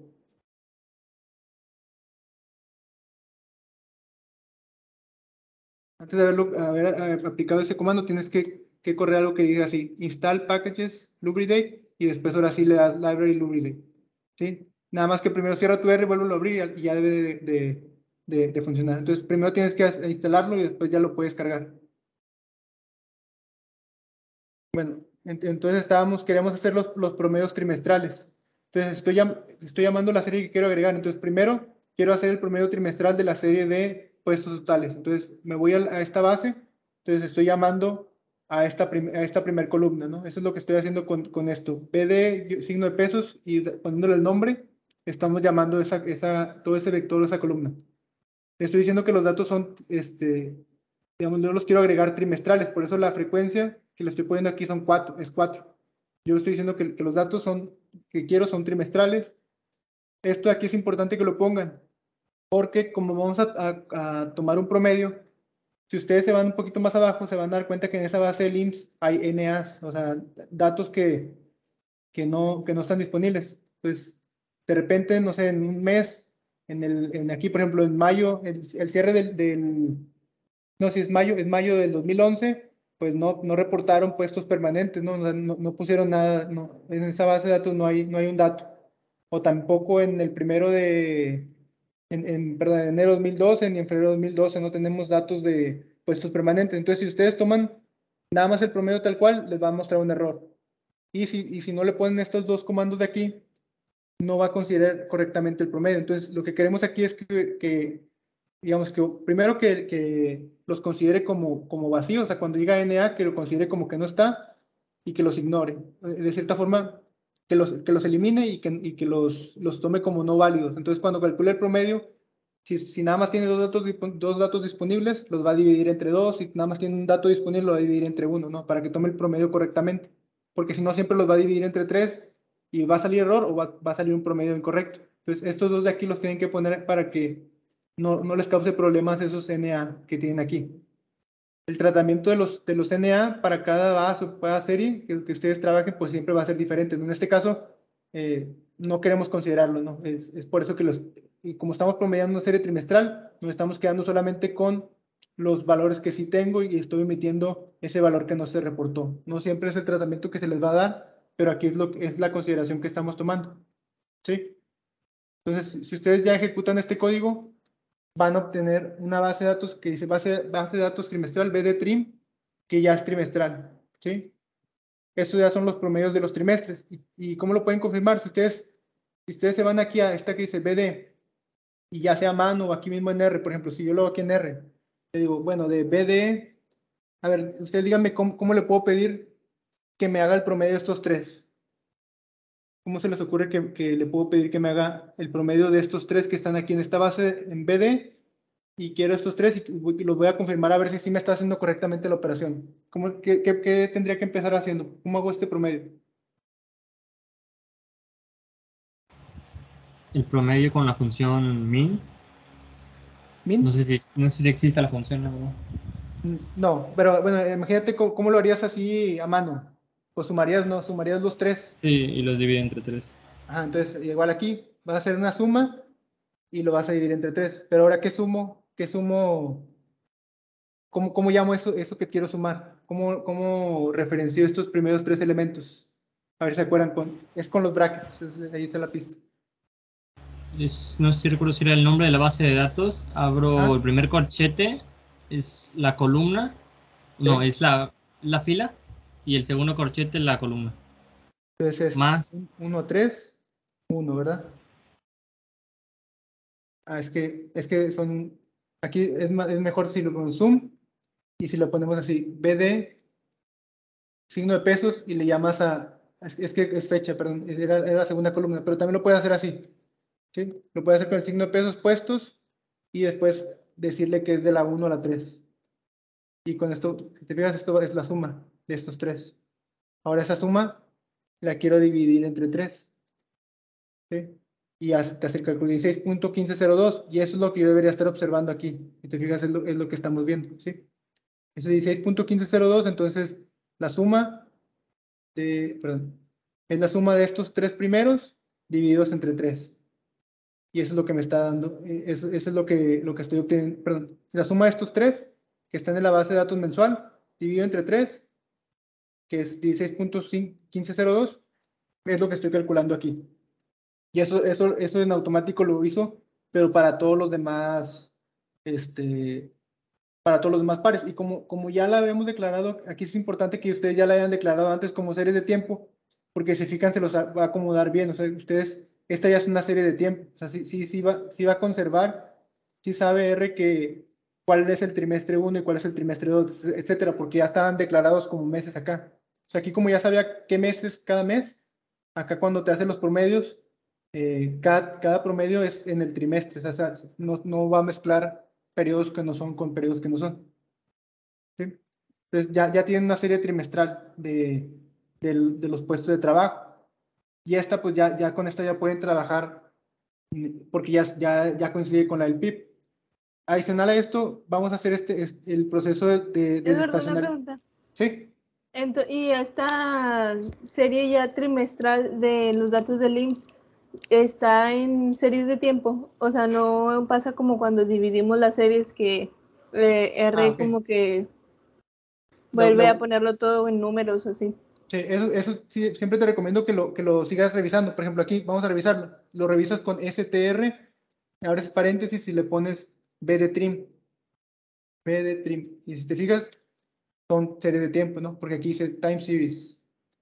¿Sí? Entonces, esos siguen conservando hasta ahorita. Eh, el, el, es, porque ya, ya, los, de hecho, aquí te fijas, cuando hicimos este, este, esta operación de agregarlas, entonces no perdió esa propiedad. ¿no? O sea, acá tiene la propiedad de, la, las declaramos antes como series de tiempo y al momento que, la, que, que, utilizamos esta función, como esta es una función que está definida para series de tiempo, no pasó, digamos, no, no perdió esa propiedad de series de tiempo, o sea, sigue siendo serie de tiempo y está bien. Pero si le aplicamos una operación que no esté definida para series de tiempo, es lo que nos, va a pasar eso que comentas, ¿no? Que va a perder esa propiedad. Entonces aquí sí, sí, sí la conserva.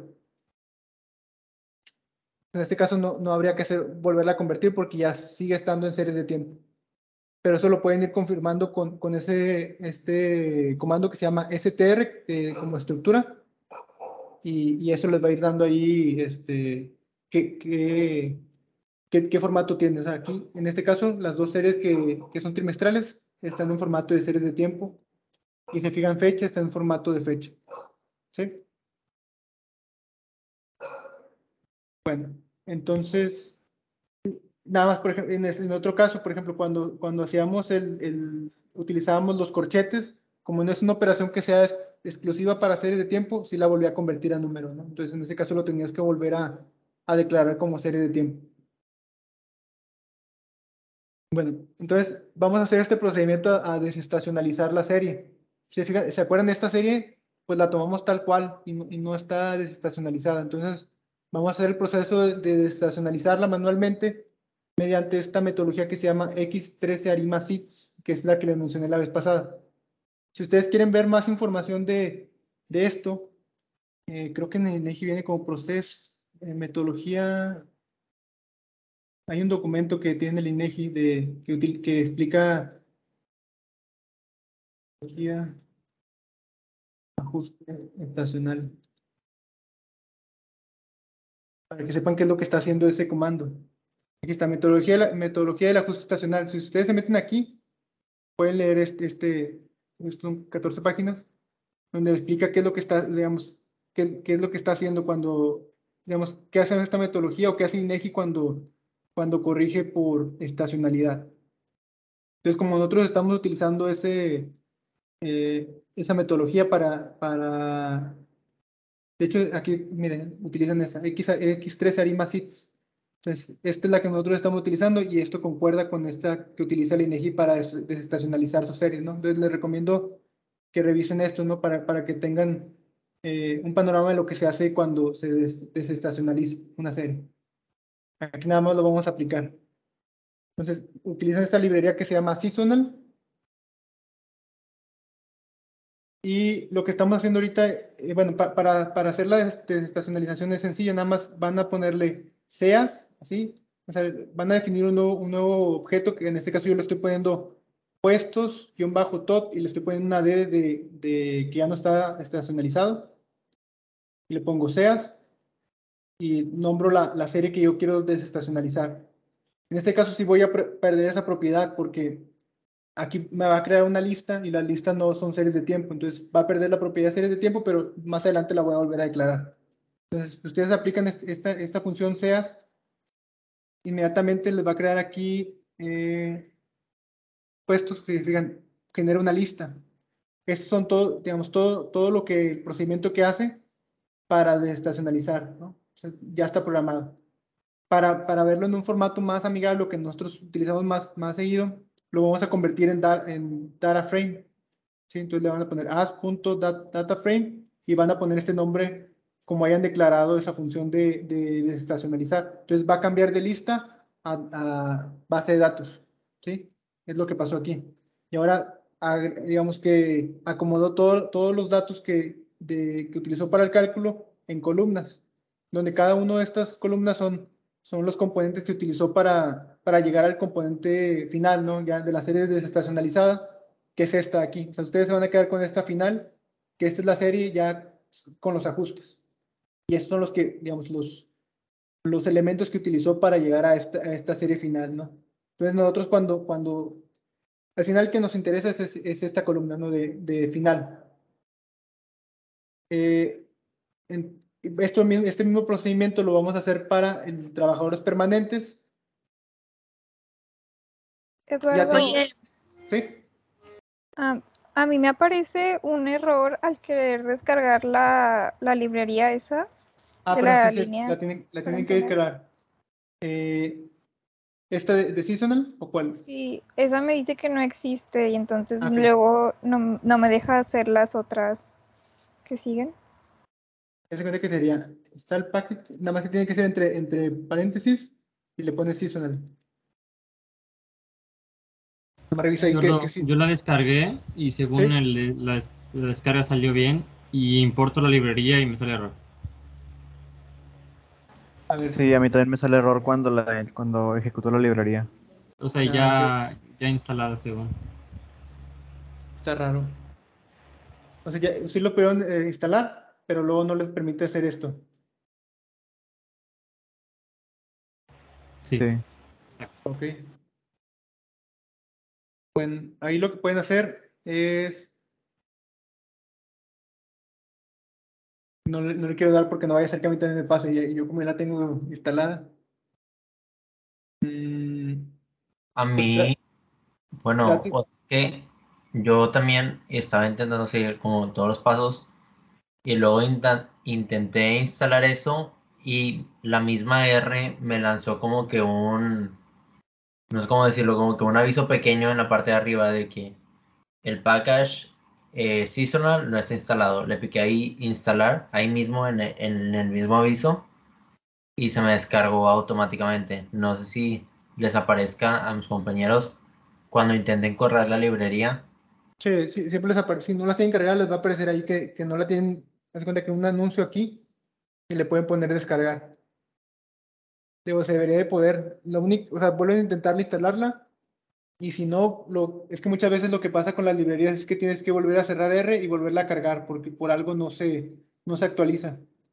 Sí, y también se pueden ir aquí donde dicen paquetes y la tienen, la tienen que encontrar aquí.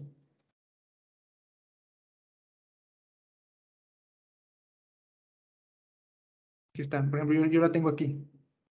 Si la tienen, si, si ustedes se van aquí a este menú que dice de paquete, digamos librerías, le ponen el nombre, debería estar aquí con una palomita, eso significa que ya está, está cargada. Si yo la quito aquí, no está, aquí se cuenta que se, está, ya no se va a cargar y se le pongo aquí, es como si le pusiera a cargar. Entonces, nada más revisen que tengan, si está aquí es que está instalada y cuando está con la palomita significa que está cargada. ¿Sí? Y si no se puede, lo que le recomiendo es que cierren y vuelven a ejecutar los comandos porque muy seguramente a lo mejor todavía no se actualiza la carpeta o, o- o algo, ¿no? Que, que por eso no se pueda ajustar. No sé si, no sé si sea esa, esa es la solución. Si quieren, me intentan y me, me vuelven a decir. ¿Sí? ¿Dónde dijiste que era para checar si estaba cargada? Aquí en, en este, en este panel de la, de la parte inferior hacia la derecha, normalmente vienen aquí, están en plots. Se van aquí donde dice paquetes y en el menú para buscar le pones el nombre, seasonal. Eduardo, a mí yo nada más cerré el R, o sea, yo tenía el error eso de ejecutar la librería, pero ya nomás cerré, volví a abrir R y ya me, me corrió, Sí, la- ya la corrió. Siempre pasa eso. o sea, normalmente cuando están las nuevas paque- paquetes, a veces no se actualiza todavía, no sé si la carpeta o, el, o el- no sé, los R, no sé, y, y la vuelves a abrir y funciona. Muchas veces cuando, cuando es con, por, por paquete o librería, intenten eso. Y por eso es importante que sí vayan manteniendo su, su archivo de, digamos, tengan un buen, buen archivo de, un buen script, ¿no? Porque de esa forma, pues no importa si lo cierras y vuelves a abrir, pues vuelves a, a- ejecutar los comandos y no te tardan nada, ¿no? O sea, por ejemplo, ustedes ya nada más definen su directorio de trabajo, si ya lo tienen ahí, y vuelven a correr hasta donde se habían quedado. Incluso, por ejemplo, yo, yo sí, si me deshiciera de todos los pasos que ya hice aquí, igual nada, no me tarda nada, por ejemplo, si vuelvo a correr hasta, hasta donde vamos, que es hasta aquí. Y en, automático ya vuelven a donde estamos, ¿sí? Si quieren volver entonces a cerrar y volver a abrir a R y vuelven a ejecutar est- esta primera parte, nada más eh, igual cuidando que sí hayan cambiado su directorio para que no les, no les aparezca error. Ya ahí ya no les debería aparecer nada de error cuando cargan la librería.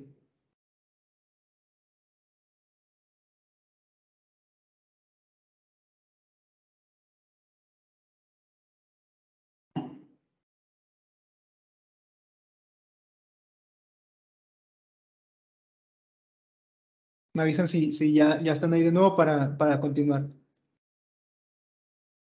Sí, ahora sí, yo sí. Gracias. ¿sí? Perfecto. Si era eso, ¿verdad? Sí, a mí me faltaba descargar este el paquete. Ya lo Ah, descargué y ya me dejó. Sí, ahí ya en los primeros laboratorios sí les estuve poniendo aquí arriba que siempre antes de cargar tiene que, tienes que tenerla eh, instalada. Normalmente, pues ya, ya no se los voy a, no se los pongo por- porque casi ya, ya descargamos todos los que van a ocupar. Pero si por algo no tienen instalado algo, como comentaba Luis, aquí les va a aparecer un error de que no la encuentra, de que no la encuentra o que no está instalada y pues ya nada más ustedes vuelven a, a correr ese, ese comando de instalar el paquete, nada más que esto siempre va entre paréntesis cuando le pongan instalar, porque si le ponen nada más así no, no, no lo va a encontrar. Pues si aquí yo hubiera empezado antes, tendría que pues si no lo tendría, tendría que poner install. O sí, es una- así entre paréntesis. De esa forma lo, lo podría instalar.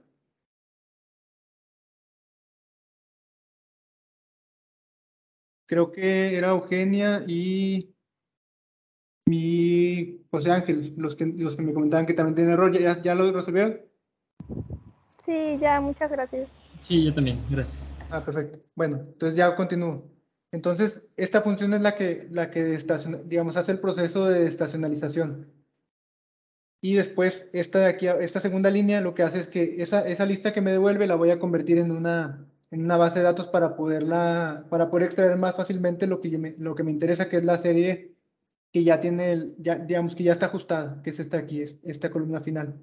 Y eso mismo lo voy a hacer, pero para la base de datos permanente, la- los asegurados permanentes. Entonces, ya, ya hice el proceso de, de estacionalización, pero si se fijan, esta serie de aquí, pues no, no conserva, bueno, pueden hacer la prueba, ¿no? Pero no, no conserva las propiedades de serie de tiempo. Entonces lo- la tengo que volver a declarar porque yo sé que, es trim- sé que es serie de tiempo. Entonces lo que voy a hacer es otra vez, voy a declarar aquí una serie de tiempo. Le voy a poner como primer columna mi, mi vector de fechas que ya tengo hecho aquí. La segunda columna, ahora, ahora le estoy poniendo un nombre todavía más, más pequeño para no batallar más adelante. Le pongo total y perma, o sea, asegurados totales y permanentes, pero le estoy poniendo una D para acordarme que ya, ya, ya está ajustada por, por el factor estacional o desestacionalizada. Y lo que estoy haciendo es otra vez declarar la serie de tiempo. Ya, ya tengo todos los datos aquí para declararla. pues Ya, ya, esto ya lo hice. Nada más que ahora se fijan. Bueno, es como antes, ¿no? Empieza. Bueno, aquí sí es importante esto. Cuando, cuando ustedes tienen frecuencia 4, o sea, son trimestres, 3 aquí significa tercer trimestre. Pero si tienen aquí 12, pues 3 significa marzo. Entonces aquí este empieza en el trimestre 3 de 1997 y acaba en el primer trimestre de 2021. Y lo que estoy llamando aquí es de, estas, de estos dos objetos que yo creé cuando hice el proceso de estacionalización. Cuenta que me estoy yendo a puestos total de pu- puestos y un bajo tot y un bajo d y estoy agarrando esta primera columna. Eso es lo que le estoy diciendo aquí. Y después para la segunda estoy yéndome a este otro objeto y estoy agarrando la serie ya desestacionalizada. Y eso es lo que estoy declarando como serie de tiempo. Entonces cuando, cuando ustedes este, ejecuten esta base, perdón, este, este, este, este bloque, van a, a quedarse con esta base de datos que se llama base de datos puestos, B de puestos, y esta ahora sí ya es la serie. Ya tiene una serie trimestral en logaritmos desestacionalizada, y ya con esta pueden trabajar para su tarea, ¿sí? Esta ya nada más restaría que ustedes pues por acá tengan o ya vean cómo, cómo manipular, que eso ya lo, ya lo saben hacer, para quedarse con una base que, que tenga también el PIB, ¿no? O sea, le van a agregar aquí la del PIB. Lo que tendrían que hacer con la del PIB es que como ustedes tienen una, una, de dos, o, la des- o vuelven a descargar la serie del PIB, este, igual la van a convertir en logaritmos, tienen que estar eh, desestacionali- desestacionalizada, etcétera, y la descargan para este periodo nada más, o bien con la serie que ustedes ya tienen disponible, pues la van a cortar, ¿no? La, la pueden hacer un- el, el subperiodo para que les quede del mismo, digamos que para que coincida con, con este periodo que tienen del IMSS. Eso ya lo tienen que hacer ustedes. ¿Se fijan aquí? Eduardo, ¿Sí? en- ¿por qué en la base de datos puestos sale el último del trimestre, pero en la, en la de puestos TOT D sale el primero del trimestre? O sea, en Eh, fecha. pues- ah, ok, aquí. En, en este- en esta fecha que aparece aquí. No sé, es- se me hace que es, es por, por cómo está programado el, el- ¿cómo se llama? O sea, haz de cuenta que aquí están programados para mostrar el, el- el inicio, el inicio del, del, ¿cómo se llama? del mes y yo lo, y te acuerdas que yo hice la modificación para que me mostrara el cierre. Es por eso, porque este comando ya está programado así, pero sí, sí, sí lo toma correctamente los periodos y todo. Aquí yo, por ejemplo, aquí lo estoy poniendo yo al cierre. E, este vector de fecha, acuérdate que nosotros lo hicimos. O sea, este es como están, es como, como están configurados. Haz de cuenta que, así es como los, e, es, en esta, digamos, que, la, que la forma que, que hace la desestacionalización toma el, los toma como inicio de trimestre. Y nosotros aquí por conveniencia lo estamos tomando al cierre, ¿no? le estamos poniendo, poniendo la fecha al cierre. Por eso este vector de fechas aquí está el cierre. Sí, pero este, este, este vector nosotros lo hicimos porque lo vamos a ocupar para graficar, etc.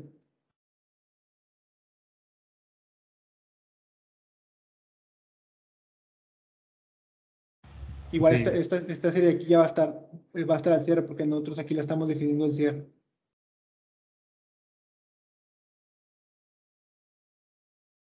Y bueno, si revisan la estructura, pues ya, ya tiene, al final les va, se van a quedar con esto, que tiene una serie de tiempo, está, correcta, está correcta, perdón. Y bueno, nada más lo que les quería mostrar es cómo hacer gráficas. Les, dejo esto de aquí para que lo tomen como referencia, porque ustedes en su tarea, nada más para recordar, aquí les puse más abajo qué es lo que tienen que hacer. Van a agregar la serie de trimestral del PIB en logaritmos que concuerde con el periodo. O sea, van, de la serie, digamos, ya sea que ustedes la vuelvan a descargar o que la tomen de la que ya tienen, nada más acuérdense que tiene que estar transformada a logaritmos y que tiene que coincidir con este periodo, ¿no? Del tercer trimestre del 97 hasta el primer trimestre del 2021. La, digamos, la, pueden juntar aquí con esta, con esta serie, con esta base que ya tienen y van a obtener, otra vez, van a, van a obtener los componentes cíclicos mediante el filtro Hodrick-Prescott, eso ya lo saben hacer van a calcular los coeficientes de correlación entre las series. O sea, aquí sería el PIB contra, fíjate que van a calcular el, coeficiente de correlación del ciclo del PIB. El PIB contra el ciclo del total, ¿no? Voy a poner así nada más, total, de los asegurados totales y luego el, del ciclo del PIB contra eh, el ciclo, es decir, el ciclo de los permanentes, ¿no? Permanentes, y incluso hasta pueden sacar también del, del, ciclo de los totales contra el ciclo de los permanentes. Hasta ese también. O sea, cómo se correlacionan el... Va a salir una muy alta, ¿no? Aquí porque casi es parte de la serie, ¿no? De, de la de totales.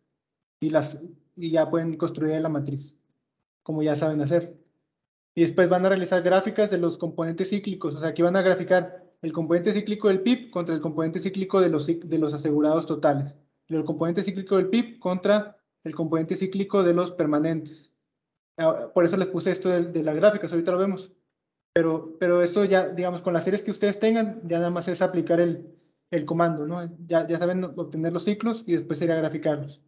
Y después van a realizar pruebas de causalidad de Granger. Ahorita vamos a ver cómo se vería ese modelo para que lo tengan ahí de referencia. Y finalmente van a interpretar y presentar sus resultados. Eso sería lo que les faltaría a ustedes de su tarea. Pero ya, ya digamos, todos vamos a estar partiendo de la misma serie. Por eso, por eso traté de, de, dejárselo hasta aquí para que todos partan de la misma serie y ya, ya los resultados nos van a salir eh, muy similares.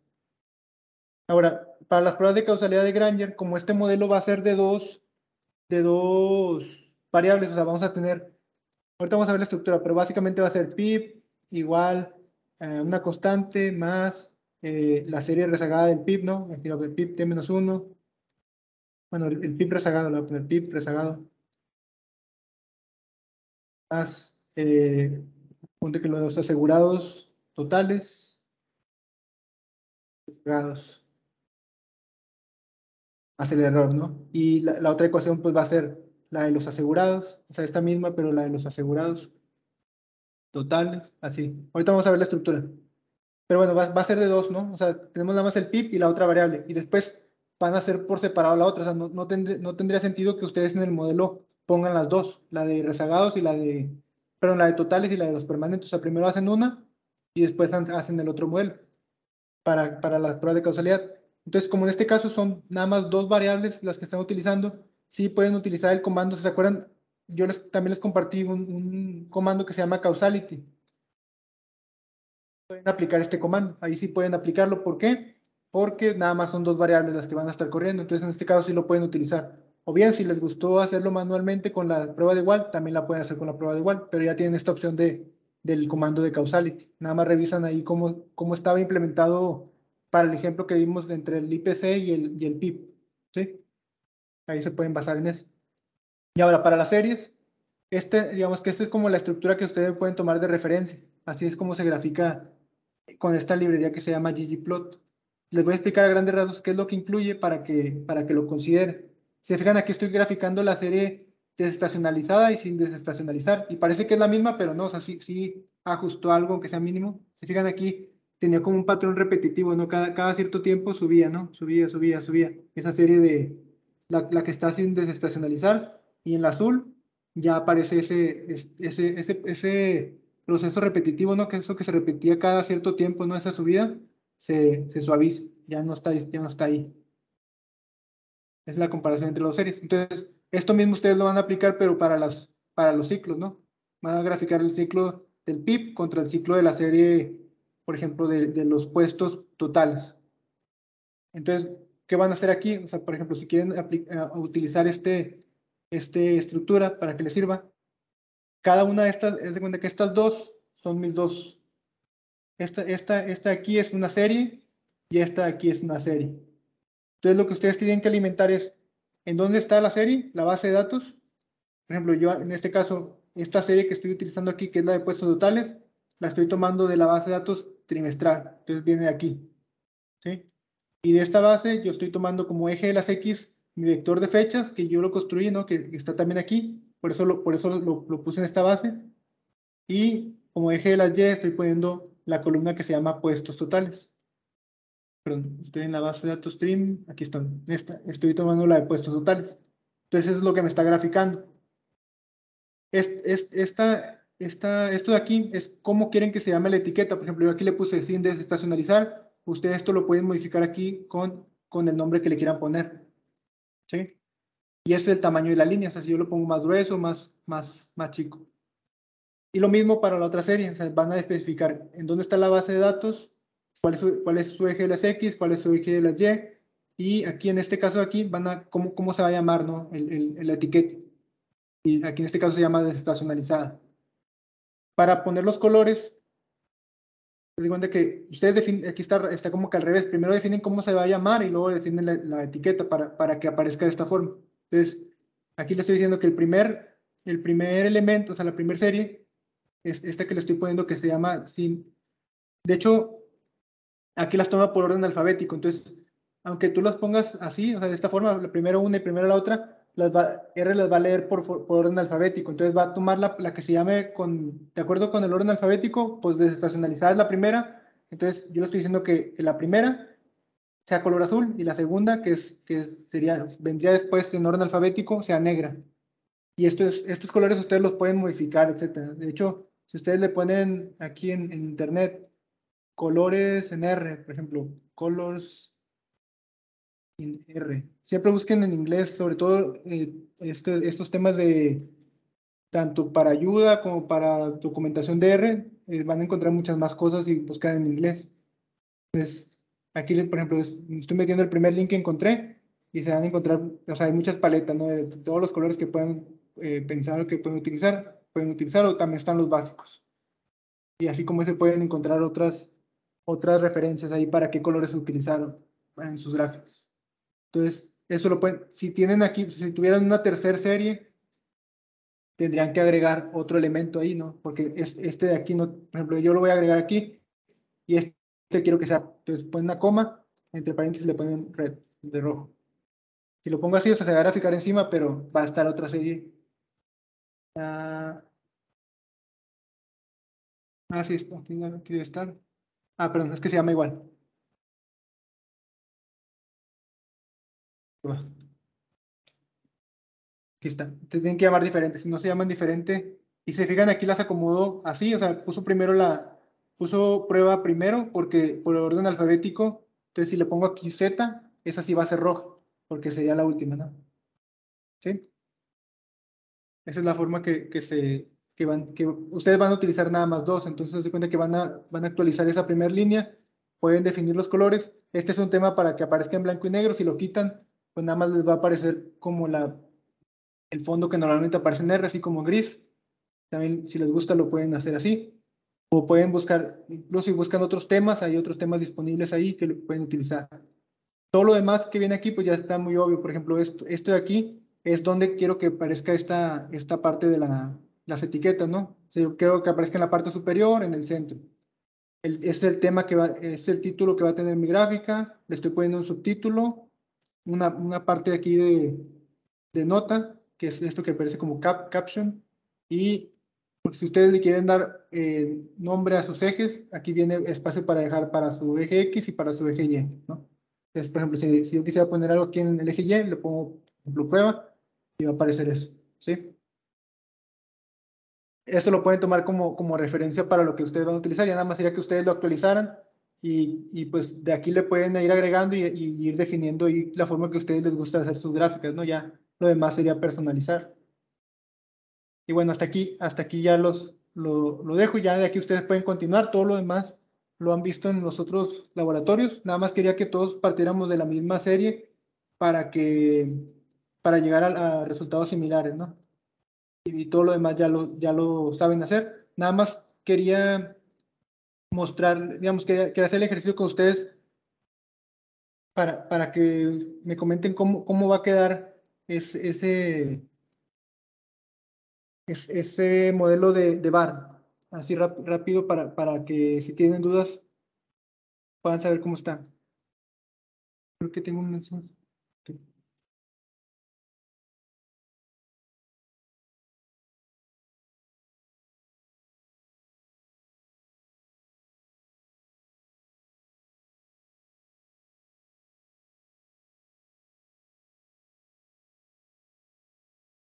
Bueno, ya lo, ya lo tengo hecho, pero voy a... ¿Cómo, ¿Cómo ven mejor? ¿Si lo dejo así o si lo dejo en blanco? Blanco. Blanco. Okay. Blanco. Este, ¿cómo, ¿Cómo se va a ver el modelo? El, el, si nosotros tenemos dos variables, vamos a ponerle nombre, ¿no? Vamos a ponerle pip T, y vamos a, suponer que ahorita estamos haciendo, como les comenté, van a ser dos modelos diferentes, ¿no? O sea, van a ser uno del PIB con los asegurados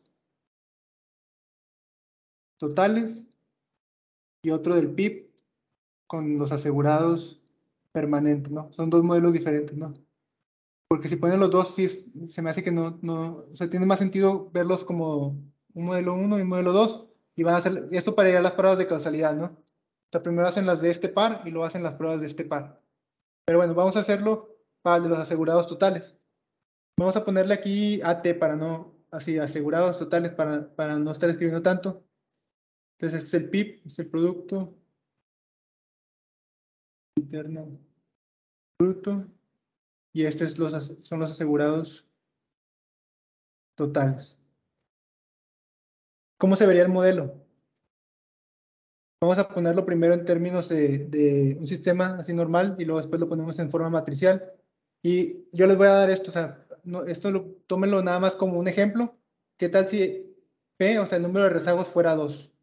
¿Cómo se vería el modelo? Todo esto todavía no lo hago yo, o sea, falta que ustedes ahí hagan las pruebas para que sepan cuánto les va a dar P. Entonces, esto es por definir, ¿no? Pero vamos a hacer el ejemplo para, en caso de que le saliera más de uno, sepan cómo van, a ejecutar las pruebas, ¿no? O sea, qué es, lo que está pasando. Porque en la otra matriz nada más tenemos un rezago, pero ya se volvía muy largo si lo hacíamos para más rezagos. Entonces, les ayudo con la primera ecuación. La primera ecuación va a ser pip t igual a una constante más, vamos a tener el pip rezagado, ¿no? Una unidad, eh, perdón, un periodo, me faltó aquí el coeficiente, perdón tenemos un coeficiente, vamos a poner igual gamma, 1, 1, ¿verdad? Porque es cómo afecta el, la primera serie, que es el PIB, al PIB, y está rezagado un periodo, ¿no? Por eso es el 1. Entonces es PIB rezagado un periodo, más otro gamma, pero ahora sería 1, 1 igual, porque sigue siendo el PIB, pero ahora está el segundo rezago. PIB T menos 2 más, otra vez tenemos gamma, pero ahora sería 1, 2, o sea, cómo los, los asegurados totales afectan el PIB rezagado, rezagado un periodo, más este, pero rezagado dos periodos, más un error. ¿Cómo quedaría la segunda? La, ¿Cómo es quedaría la, la, la ecuación de asegurados totales? Ustedes me dicen, ya tomando como base esta primera que yo escribí. Sería una constante más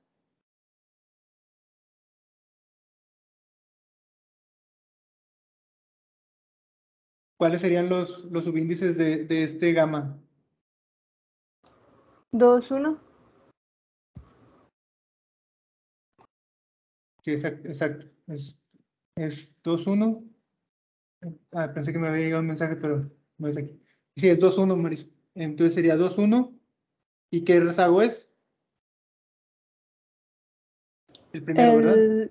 primero, sí. Exacto. Entonces sería pip t menos 1. ¿Y luego ¿cómo- cuáles serían los subíndices de este? Igual, ¿no? 2, 1. Porque sigue siendo el PIB, pero ahora está rezagado dos periodos. ¿Y luego cuáles serían los subíndices de este?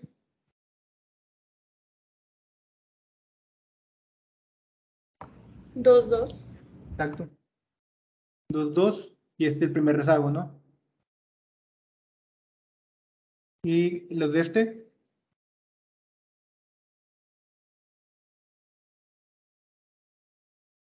Igual, 2, 2. Ajá, 2, 2, pero rezagado dos periodos. Y sería el error 2. Ahora se sigue viendo muy, muy largo así, ¿no? Entonces, en forma matricial se va a ver mucho más, van a ser mucho más entendible. Lo voy a dejar- les voy a dejar los espacios y ustedes me dicen cómo va a quedar.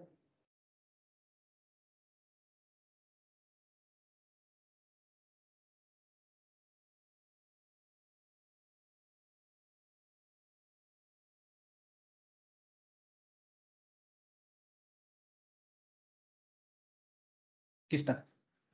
Aquí, ¿qué ten- ¿este vector qué sería? Sería. Sería PIPT y AT, ATT. Ajá. Serían las variables explicativas, ¿no? Este de aquí,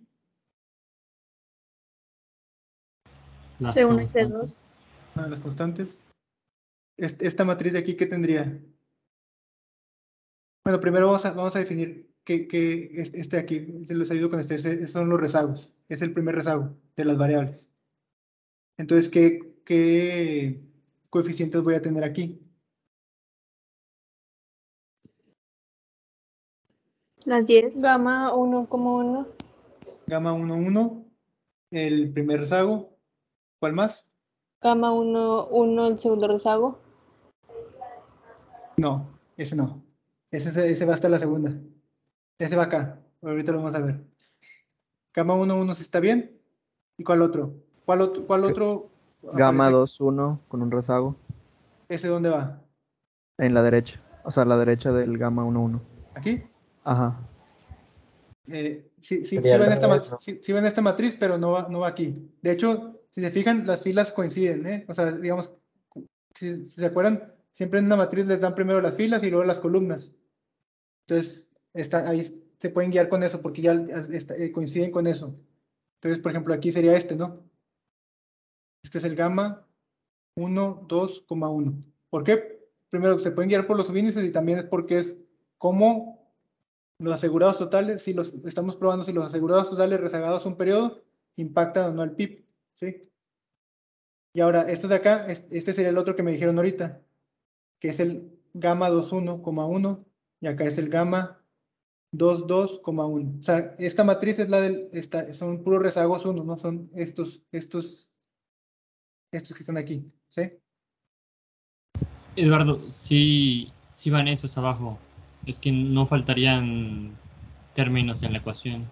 Sí, faltan, pero esos los vamos a poner acá. O sea, aquí vamos a tener ahora el PIB T-2 y AT T menos 2. O sea, todos los que van con, están rezagados en dos periodos. No sé si me da a entender. O sea, aquí en esta primera matriz estamos poniendo los que están rezagados un periodo y en esta matriz estamos poniendo los que están rezagados dos periodos. ¿Ok?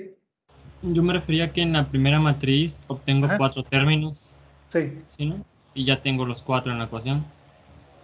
esto sí, ahí- aquí están. Ahora, ahora vamos a poner la de la segunda, ¿no?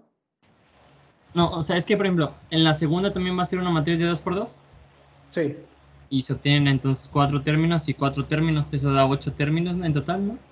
sí. Y tenemos nada más cuatro en la ecuación. No, no. No, porque haz de cuenta que si te fijas está cambiando esto. Es- es- parecen iguales, pero son diferentes. Por ejemplo, aquí tenemos Y11, eh, rezagado 1. Si, si, si comparas los, sea, haz de cuenta que todos estos, todos estos son diferentes. Ya, ya, ya, ya, ya, ya, ya, Sí. ya, ya. Sí, pare- parecen, parecen como si fueran los mismos, pero es diferente. De hecho, por eso le puse diferente. O sea, por ejemplo, cuando es lo que va después de la coma es el rezago y lo que va antes de la coma eh, sería la ubicación que tienen en la matriz, pero correspondiente. Entonces, por ejemplo, aunque este sea gamma 1,1 y acá voy a tener otro gamma 1,1, este es- está asociado al primer rezago, pero este está asociado al segundo rezago. ¿sí? Entonces, va a ser igual, de hecho, como dices, o sea, va a ser muy similar, pero esta matriz de acá Solo, haz de cuenta que nada más estoy reacomodando los términos.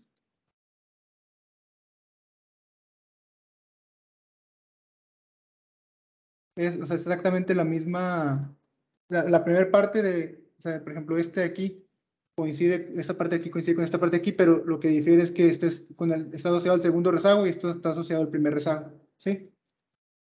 Pero son, estamos reacomodando estos términos, nada más que lo estamos acomodando de tal forma que en la primera matriz estoy dejando nada más los que están asociados a la serie rezagada a un periodo y en la segunda matriz estoy dejando los que están asociados a la serie rezagada a dos periodos, ¿sí? Y aquí en el último van los errores. Pues ahí no sé si quedó claro.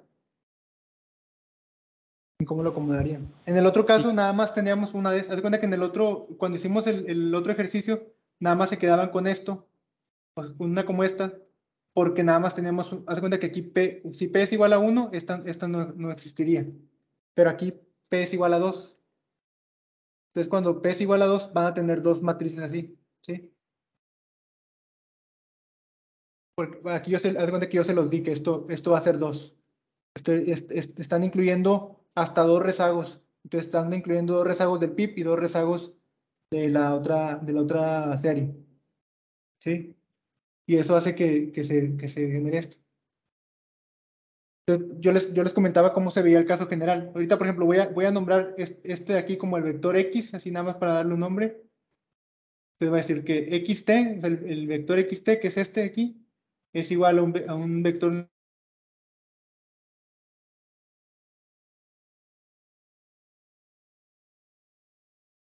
mayúscula 1, la serie, el mismo vector rezagado un periodo, más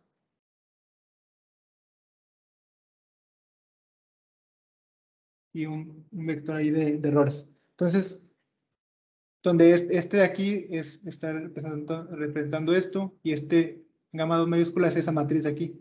¿sí? Y les comentaba que para el caso general van a tener esto mismo, pero por cada P adicional que ustedes tengan, se cuenta que van a tener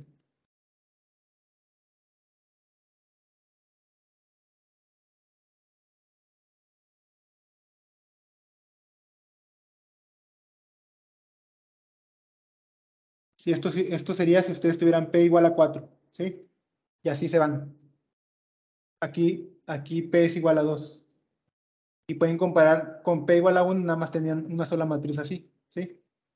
O sea, por ca- por- es lo que les comentaba ahorita Marisa, o sea, por cada, por cada rezago adicional que, que tú estés incluyendo, vas a, vas a tener que estimar una nueva matriz. Entonces, por ejemplo, aquí pasamos de, si P fuera 1, estimas nada más, la matriz de coeficientes son cuatro, cuatro elementos, ¿no? O sea, que son cuatro elementos. Y aquí ya se vuelven 8, y acá tendremos que estimar, pues, 12, ¿no? Si, si P, igual fuera, fue- P fuera igual a 4. Más, más las constantes, ¿no?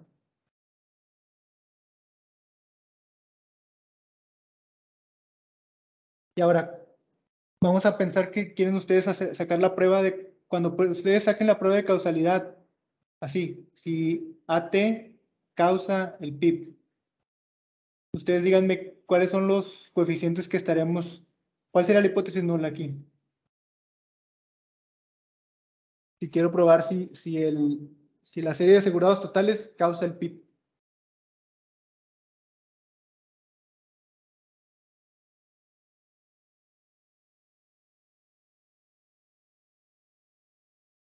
Decimos que la, se lo voy a poner en, ¿cómo se llama? En escrito y ustedes me dicen ya en coeficientes cuál sería. La hipótesis nula es que eh, la serie de asegurados totales no causa el PIB. Esa es la hipótesis nula. Ahora, ¿cómo lo, cómo lo expresan eso? ¿Cuáles ¿cuáles de estos coeficientes tendría que poner igual a cero para, para que esto fuera cierto? Digamos, para, para que la hipótesis nula, para definir la hipótesis nula. ¿No sería eh, gamma 21,1? Gamma 21. Gamma 21 como tú comentas este, ¿verdad? Bueno, ah, siempre recuerden que está, está correcto, va a ser uno cruzado, pero, pero va a ser este. Ah, ok. Es este aquí porque ese es, el, es el, ¿cómo se llama el tema de los, de los subíndices? de cuenta, acuérdate que siempre la segunda que viene aquí, o sea, el 2 aquí significa que es la segunda, como son matrices se multiplican con, eh, esa es la primera fila, va por esta columna, entonces correspondería a este de aquí. Ah, sí, es verdad. Como este, si este causa el, el PIB, ¿no? Es lo que estaremos diciendo. O sea, cuando, y de hecho, si se les hace más fácil ustedes verlo así, también es válido, ¿eh? Por ejemplo, aquí también lo pueden ver. Aquí estaríamos hablando de que AT sería este, ¿no? Corresponde a ese.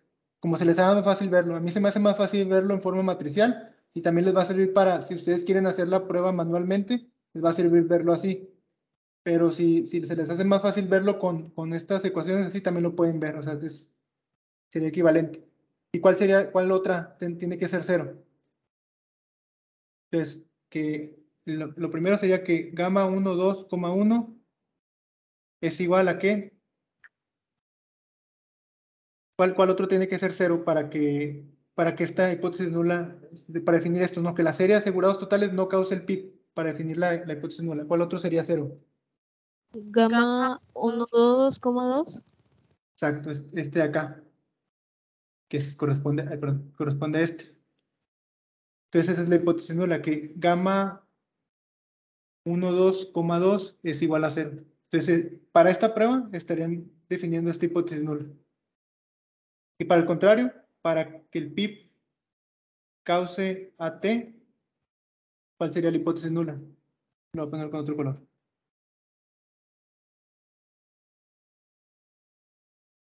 ¿Cuáles serían, en ese caso, cuáles serían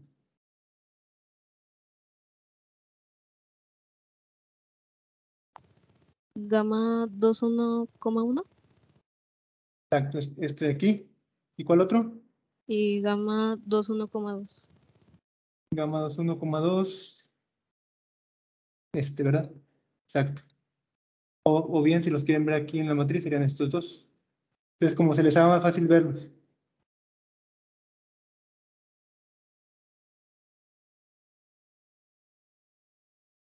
Esas serían las hipótesis nulas que tendrían que ver. Eh, si este fuera el caso, no, si, si, si P, este voy a poner si P fuera igual a 2. Cambiaría, o sea, si, si P es igual a 3, aquí tendría que poner otra, en cada uno de estos dos se va a agregar otro más porque van a tener otra matriz acá que también van a tener que restringir, ¿sí? Ahora, como les comento, pueden hacerlo de dos formas. Pueden aplicar el, el comando que se llama causality, creo que les pide, les pide el, ya ahí, revisan porque no me acuerdo exactamente qué, qué, es lo que les pide, pero viene, les pide esto, le ponen caos, y aquí va la variable independiente.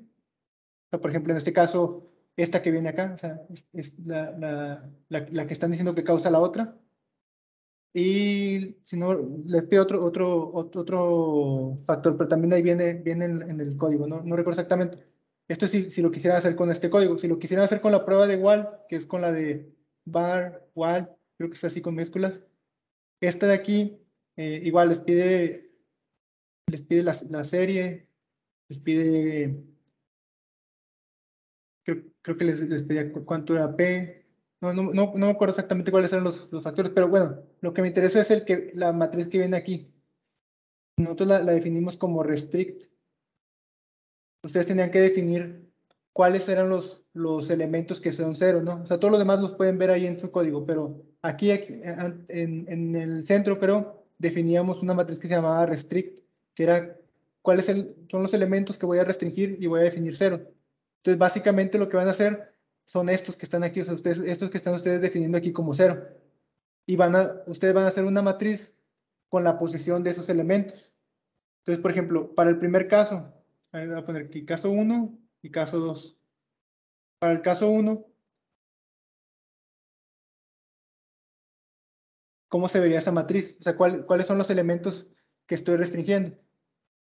Les, comentaba que eran tres filas. En esta fila, que es la, la fila, la 1, aquí va el rezago, ¿no? El rezago, esta es la fila, esta es la columna del elemento que estoy restringiendo. Así lo, así lo pueden ver. Entonces, vamos a, vamos a hacer est- esta primero, ¿no? Para el caso 1, estamos definiendo que gamma 12,1 y gamma 12,2 son igual a 0. Entonces, les tenemos que dar a R cuál es la posición en la matriz de coeficientes de esos elementos que son 0 bajo la hipótesis nula. Entonces, el primero, este aquí, ¿qué entonces es el primer rezago, ¿no? Es la, es la, la matriz del, del primer rezago, le tenemos que poner 1 porque es la matriz que está asociada al primer rezago. Esto ya sea que lo identifiquen aquí o que lo vean porque está asociada a esta, a esta, a esta matriz de acá, o, o que vengan con coma, con, eh, con coma 1, ¿verdad? porque es, es el primer rezago. Y ahora, ¿qué posición tiene? Está en la primera fila, en la segunda columna. Entonces aquí esta matriz va a ser 1, 2. Y el, y el otro, ¿cómo lo, este, este, ¿cómo lo definirían? Este de acá.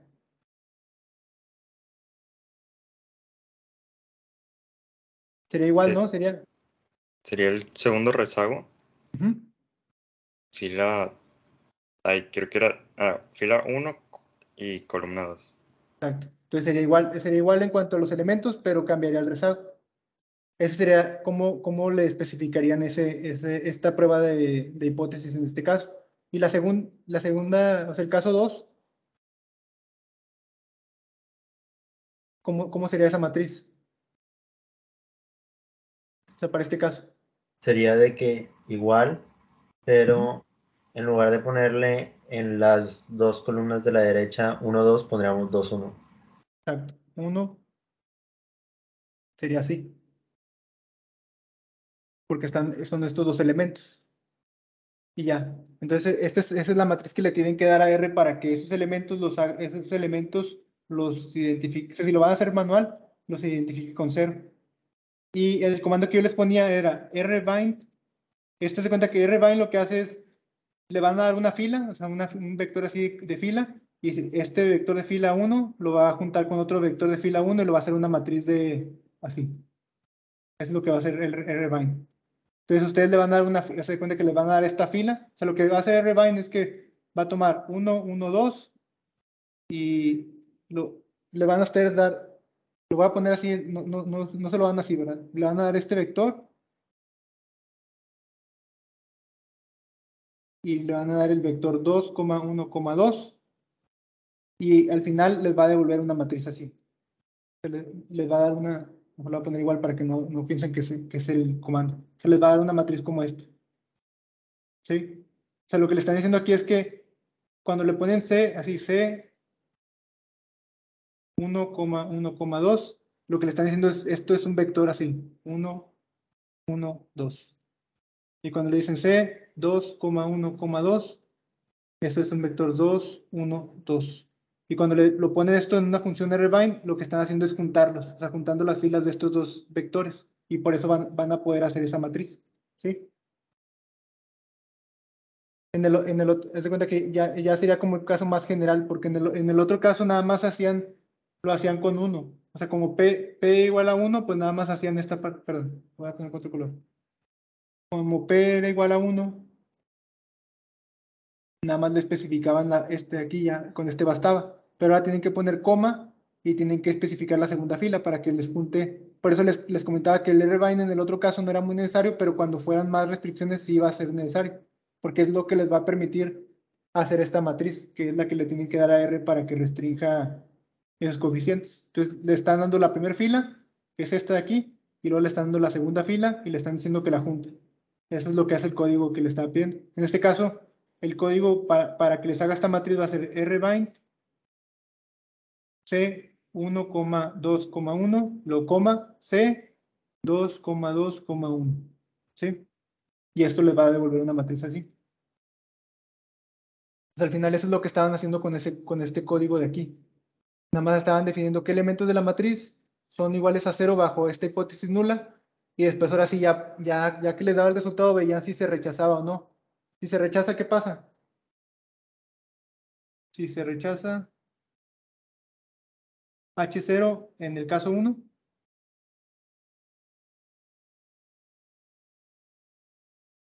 Los asegurados totales causan el PIB.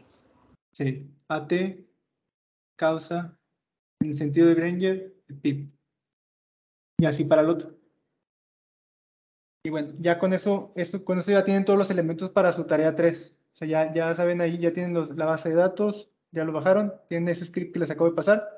Y el, y el modelo que van, perdón, el modelo que van a, no déjame terminar, el modelo que van a correr es similar a este, solamente aquí les puse el ejemplo para P igual a 2. Eh, no sé cuánto les van a salir, pero ya tienen, digamos, una, una idea de qué hacer si les sale que los rezagos son mayores a 1, para, para, que sepan cómo es esta matriz. A ver si, dime, Perles. Puedes volver a poner la, el node para tomarle este. foto. Sí. Un poquito más abajo. Acá. Un poquito más, un poquito más arriba que salga el. Así está. Ah, ok. Para tomarle pantallas. Sí. Igual esto lo... Aquí también lo, lo había escrito un poquito más limpio por si, se, si me escapó algo, pero creo que creo que lo dejé igual. O sea, lo, aquí se lo, si quieren tomarle pantallas igual, lo dejé con colores para que fuera un poquito más ilustrativo. Es el mismo.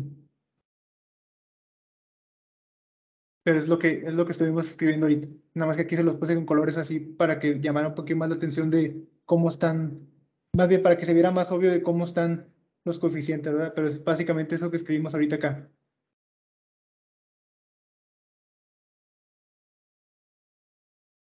Bueno. Entonces, eso sería...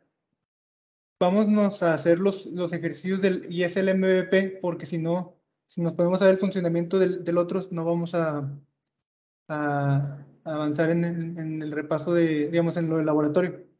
El otro, nada más, eh, igual pueden, si quieren, nada más les muestro así rapidísimo en menos de cinco minutos qué es lo que pueden hacer. Y ya, ya ustedes lo exploran por su cuenta. Este, el link se lo dejé ahí en el, en, ¿cómo se llama? En, el canal. Ahorita, que no se me olvide, les voy a publicar ahí las notas que me mandó el doctor también para que las puedan revisar durante el fin de semana y comentarlas el martes. Nada más este, para que revisen el canal. Aquí.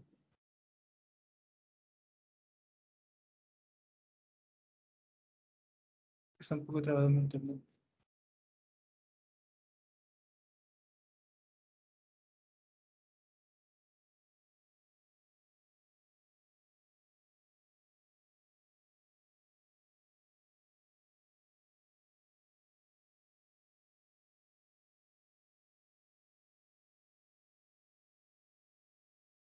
Aquí está.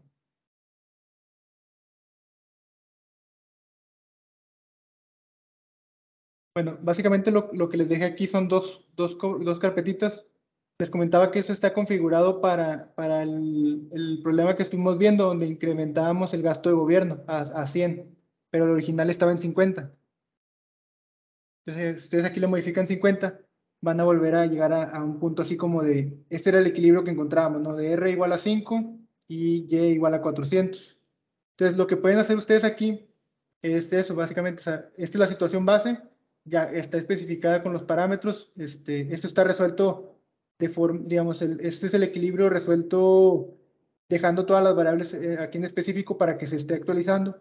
Igual lo pueden ustedes hacer. Ustedes resuelven el, así, básicamente lo que estuvimos haciendo de forma numérica. Ustedes lo resuelven dejando las, las variables sin, sin evaluar en un número específico, van a llegar a esto. Igual pueden hacer la prueba, ¿no? Esto es el equilibrio de, de perdón, este, es, este Y y este sería R, ¿no? Este sería R óptima y este sería Y óptima bajo este modelo como este, ¿no? De, de ISLM.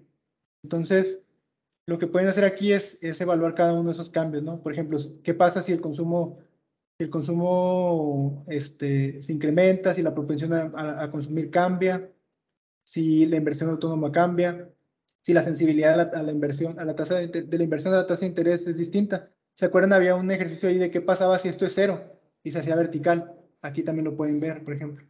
Aquí esto se hace vertical.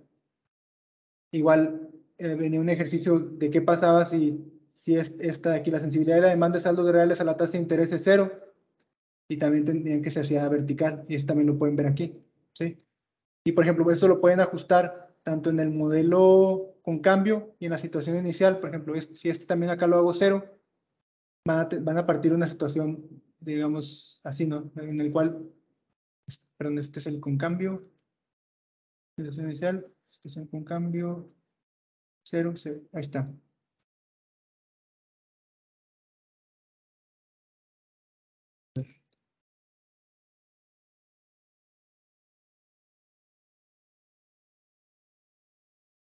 Déjenme lo autorizo. Este estaba en cero. Y este de acá, la 50, era cero. Y este era 50. Ahí estamos partiendo en una situación en la cual los dos son, están iguales, nada más lo que estamos cambiando desde un inicio es que eh, la sensibilidad de la demanda de saldos reales a la tasa de interés es cero, o sea, no, depende de eso. Entonces, ahí, por ejemplo, les pedían, ¿qué pasa con la política monetaria, con la oferta monetaria y con eh, un incremento en la política fiscal? Bueno, vamos a ver primero qué pasaría eh, con un incremento en, en el gasto de gobierno, por ejemplo. Si, si, la, si en este caso la, la LM es vertical, entonces decíamos, si se incrementa este, no va a cambiar, o sea, nada más se va a desplazar, desplazar la IS, pero eso no va a modificar el, el producto. ¿sí? Ahora, ¿qué pasaría en ese caso con una política monetaria expansiva? Bueno, pues en ese caso la política monetaria sí va a ser efectiva, ¿no? Porque va a mover el producto.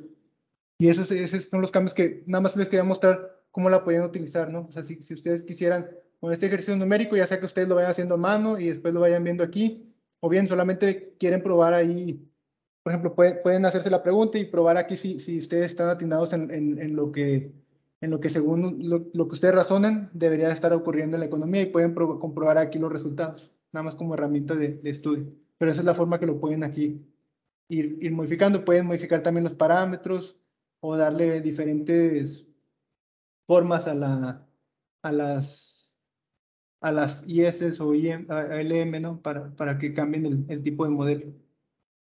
Y bueno, vámonos entonces al, al este, a, estos ejercicios que traigo aquí. Vamos a resolverlos igual, los voy a copiar para que los puedan ver acá. Los podemos ir resolviendo directamente aquí sobre una hoja en blanco.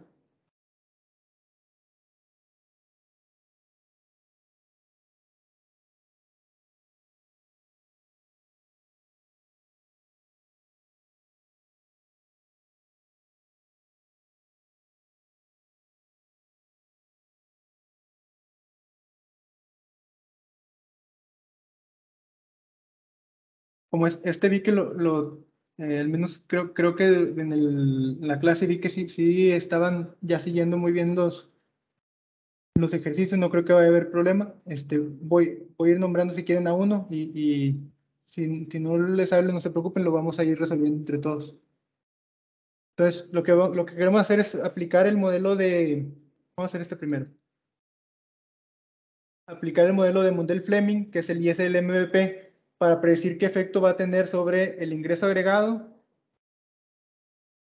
sobre el ingreso agregado, sobre el tipo de cambio y sobre las exportaciones netas. Bajo, y, y, eso lo vamos a evaluar tanto en el régimen de tipo de cambio flexible y el tipo de cambio fijo, ¿no? Y nada más lo que vamos a estar cambiando es el choque. Entonces vamos a hacer primero este ejercicio, ¿no? En el que hay una caída en la confianza de los consumidores. Vamos a ver primero el caso, déjenme más, voy a acercar mis notas. El, el, este ejercicio, ¿no? El del tipo de cambio flexible, vamos a empezar con el flexible. Entonces, ¿qué pasaría si hay una caída en la confianza en los consumidores que induzca una reducción en su consumo? ¿Qué es lo, qué es lo que va a pasar en, en, en, esa economía? Yo les voy, les voy a ayudar aquí a poner la, el, la situación inicial y ya ustedes ahí me dicen qué, qué va a ocurrir bajo este régimen de tipo de cambio flexible. La IS se desplaza a la izquierda. Ah. Tenemos la LM, la IS. Entonces, ¿qué es lo que está pasando? La IS se desplaza a la izquierda, ¿verdad?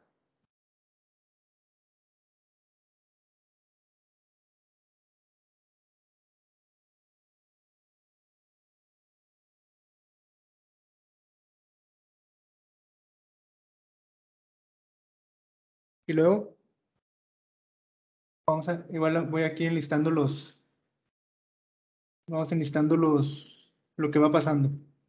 Entonces, el, el, el, lo primero que ocurre es que la IS se desplaza a la izquierda. ¿Y ahí por qué se, por qué se desplazó? Por la caída de consumo, ¿no?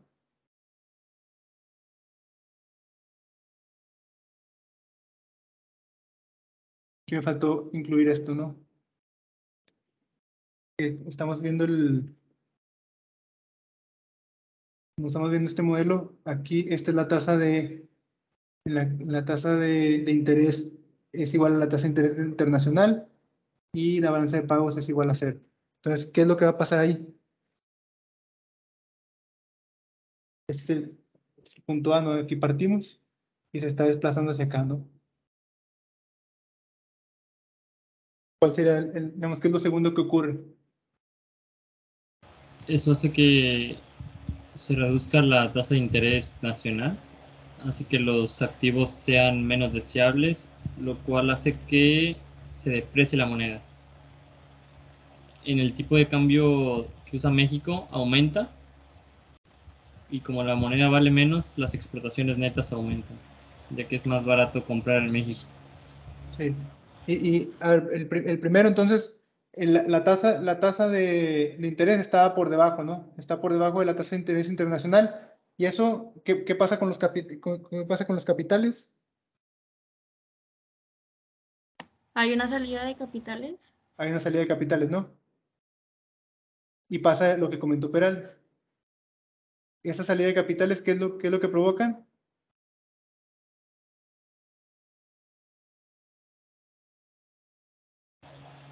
Que se deprecie la moneda. Se deprecia la moneda, como comentaba.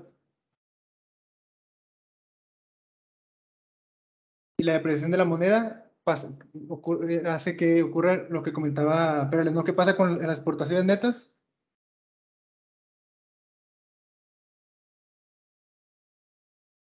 Aumenta. Aumenta, ¿no? Y, y eso, eh, eso qué trae, ¿no? ¿Qué, ¿Qué pasa en el mercado de bienes? ¿Vuelve a aumentar? Si la, la IS se desplaza, ¿no? Se desplaza a la derecha. Entonces, ¿y hasta dónde se va, se va, hasta dónde se, se, se incrementa las exportaciones?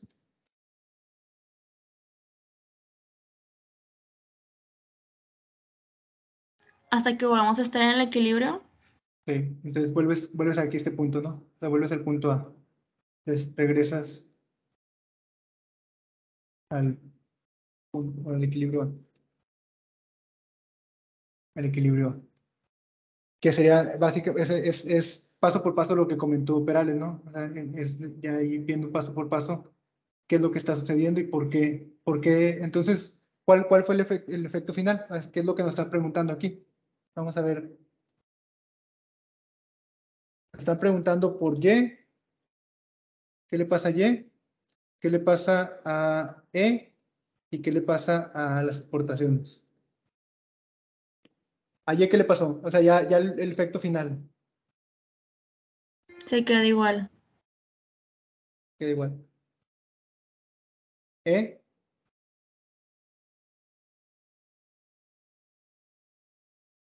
Baja. Baja, ¿no? Porque se apreció. Porque se apreció la moneda. ¿Y las exportaciones?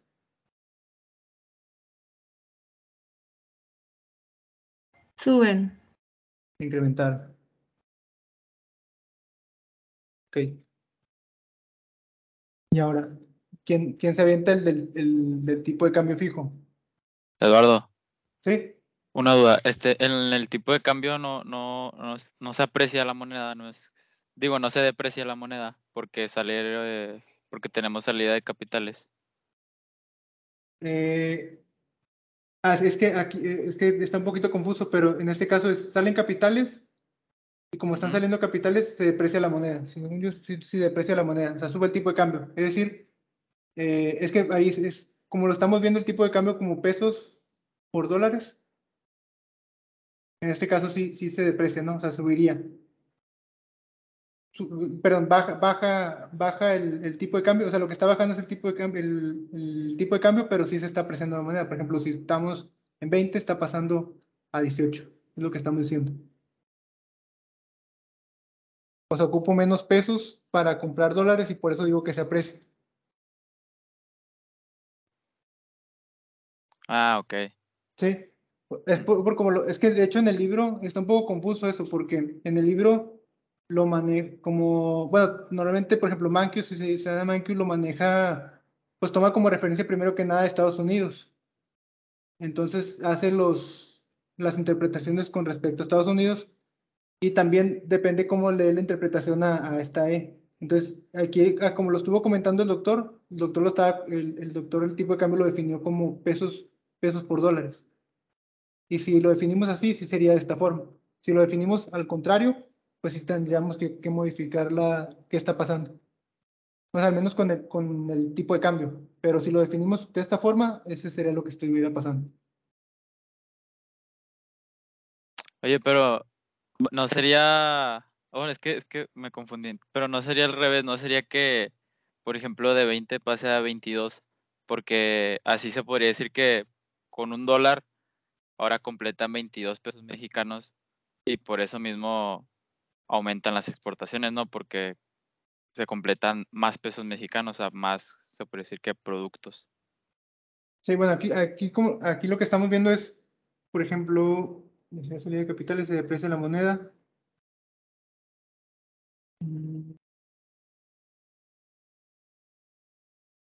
Ah, es que estamos diciendo que se deprecia, perdón, es cierto, estamos diciendo que se deprecia.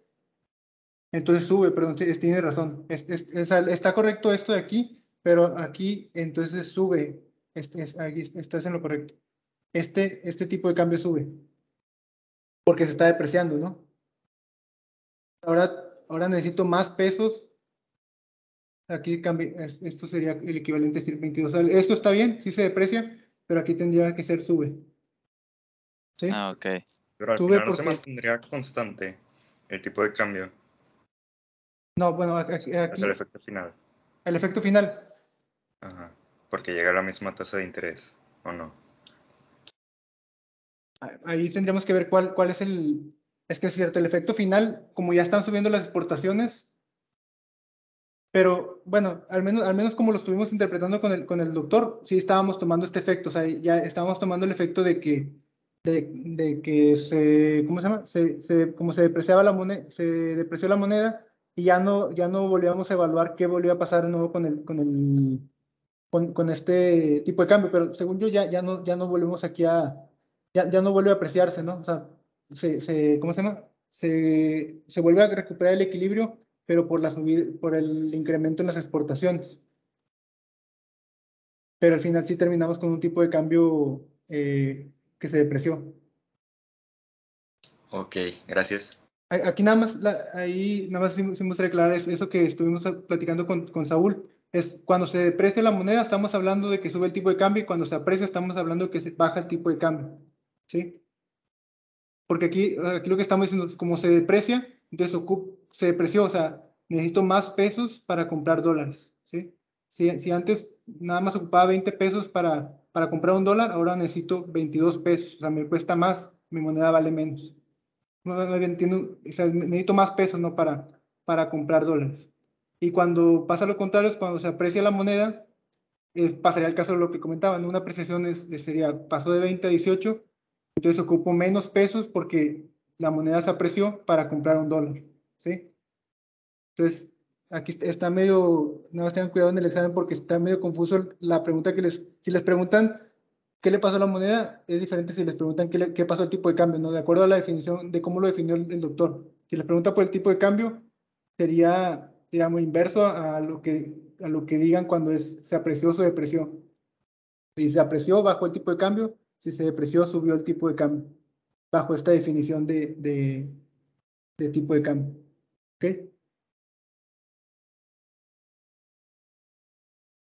Va, va, gracias. Sí pero sí está, está en lo correcto de, que este, este es el que sube. Y ahora, ¿qué le pasa con tipo de cambio fijo? Déjenme, voy, primero voy a, volver a, dibujar la situación inicial y ustedes me dicen.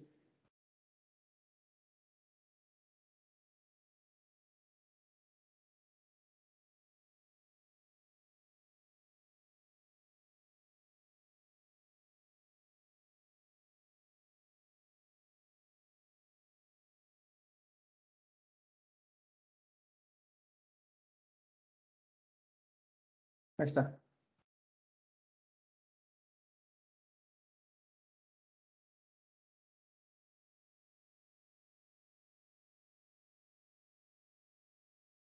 me dicen si ya me puedo mover más a la derecha para que sea mejor esto.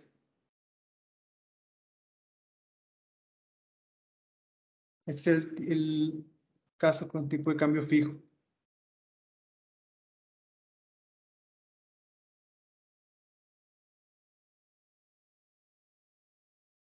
Entonces vuelve, el de inicio pasa lo mismo, ¿no? está, se está desplazando la, la IES. Por, por la caída en el consumo. Es, ese, eso hasta ahí, hasta ahí, digamos que van igual los, los dos modelos. Pero ¿cuál es la, la reacción de ahí? Es la que, la que hacer diferente.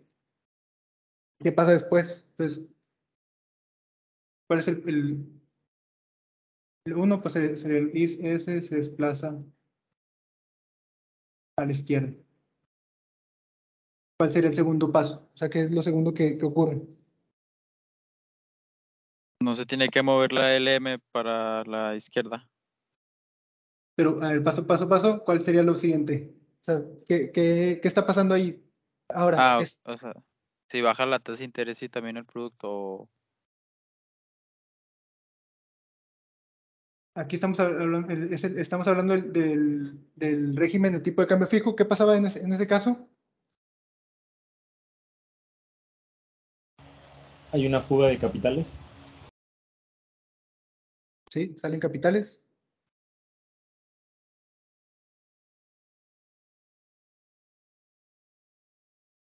Y luego,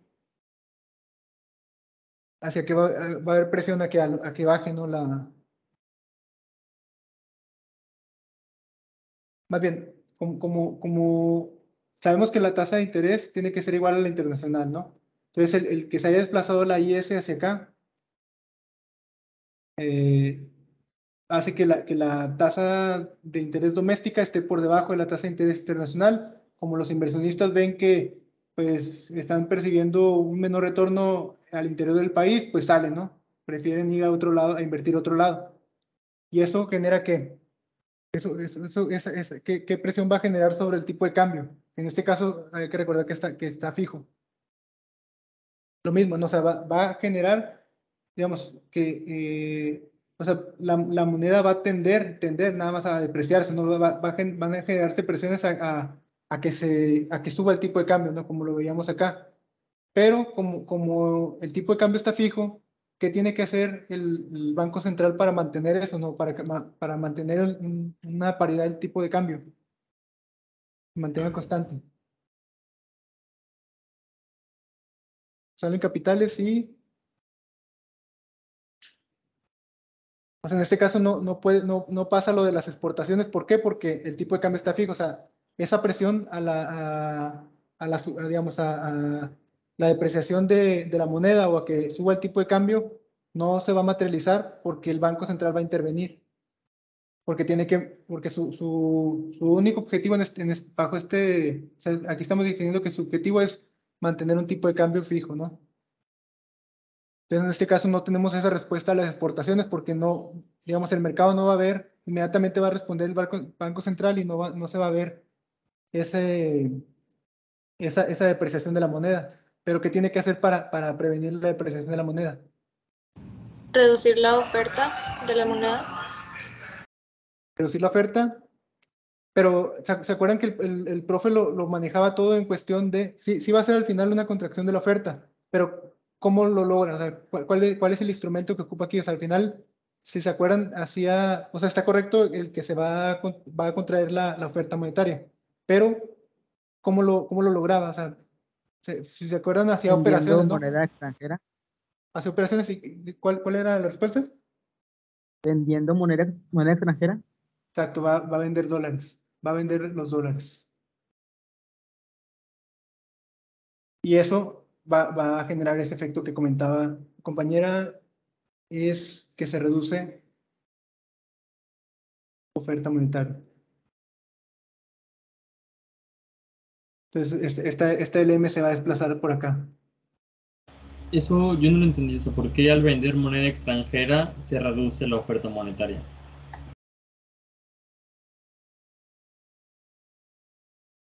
¿te acuerdas? El- el- es, es más fácil entenderlo como lo veíamos. ¿Te acuerdas que veíamos el caso contrario?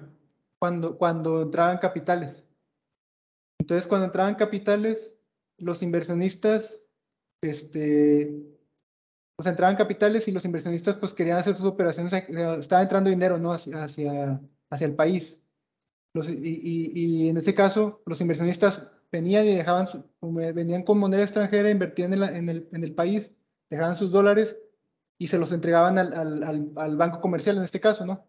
Aquí no estamos hablando, aquí no estamos, estamos pon- preocupando por el banco que haya banco comercial o banco central, ¿no? Pero básicamente se lo entregaban a un banco comercial y el banco central compraba esos dólares que estaban entrando los, a los bancos centrales y como compraba esos bancos centrales se entregaba pesos, ¿no? Entonces había más pesos en la economía. Aquí es un poquito más complicado en- eh, explicar el otro caso, pero es lo es inverso a eso. Ahora están saliendo capitales y a ver, tú explícame, a ver, tú, tú trata de, de ese mismo ponerlo ahora en términos de, de la salida. ¿Cómo, cómo Bueno, sería? si, si antes ven- podría decirse que vendía moneda, entonces ahora la tiene que comprar. Y como sería ilógico comprar moneda con moneda, entonces compra la moneda nacional con lo único que tiene la extranjera. O sea, entonces está vendiendo el- Vende, dólares. ven- vende dólares. Y reduce, eso reduce la cantidad de moneda nacional en circulación. Y por eso se contrae esto. Pero sería el caso contrario al otro que veíamos cuando, cuando entran, ¿no? O sea, está entrando, está entrando inversión, en este caso está retirando inversión. ¿sí? Y en ese caso, pues, como están solicitando sus dólares de vuelta, pues tiene que vender los dólares para, entre- para que se entreguen, ¿no? Y para, para poder vender esos dólares va a recibir, pues, moneda nacional y eso va a restringir, digamos, va a reducir el- la cantidad de, de saldos en la economía. Ese sería el, el, el, este, este, este, este modelo. Este, este caso, ¿no? Con tipo de cambio fijo. Ahora, ¿cómo sería? Bueno, este, este ya sería el, primer, el primero. Vamos a ver si alcanzamos a hacer todo. Voy a ver este, déjenme les digo cuál, porque hay uno que es muy, son muy similares para hacer uno un Eduardo. diferente. ¿Sí? Perdón, perdón por interrumpir. Pero ahí también aplicaría lo de la venta de bonos. La venta de bonos, Oh. a ver, tú explícame cómo. O sea, es que no recuerdo que, que habían había leído también que Ah, ok, las de operaciones de aquí estamos, sí, en todo, en todo este modelo no hay, no hay operaciones de esterilización. El- así lo comentó el, el doctor, ¿no? Lo que comentaba el doctor era que en el otro caso, o sea, si no quería, si en el otro caso estaban eh, entrando capitales, estaba incrementando la oferta monetaria y si el Banco Central no quería que hubiera más, más moneda, eh, nacion- digamos, más moneda en circulación o más, más saldos en circulación porque por temor a, a, ¿cómo se llama? A presiones inflacionarias, lo que podía hacer era eh, co- colocar un bono, ¿no? Para, para que digamos que, que los, que los inversionistas compraran esos bonos se- y se retirara ese, digamos, por la misma cantidad que se está expandiendo, eso no es el mismo caso, pero supongamos que se está expandiendo por acá, por esta misma cantidad que se está es- es- expandiendo, va a colocar bonos de forma que, que no exista un, un desplazamiento de la, es como si no, no existiera, ¿no? Y de esa forma, pues, este, retira, retira ese, ese excedente de, de saldo, ¿no? Por la, por la, por la nueva entrada que está, que está recibiendo de capitales. Pero, Ah, pero, ok. pe- pero en ese caso, eso, eso, eso es lo que pasaría, esas, esas operaciones, aunque existen, lo que, lo que estamos suponiendo aquí en el, en el modelo es que no, que no están. O sea, no, no hay, el Banco Central no hace esto en este modelo. O sea, si, si se restringe o si se incrementa la oferta monetaria debido a la compra-venta de, de moneda extranjera, deja que así suceda. Y no, y no, no opera estas medidas para, para ajustar esos cambios. ¿sí? Es solo en el tipo de cambio fijo. Sí, solo en el tipo de cambio Ah, fijo está este supuesto adicional. Ah, Ok. Ah, ¿Quién me recuerda, quién, quién me recuerda los, los supuestos del, del modelo ISLMVP? Hay tres.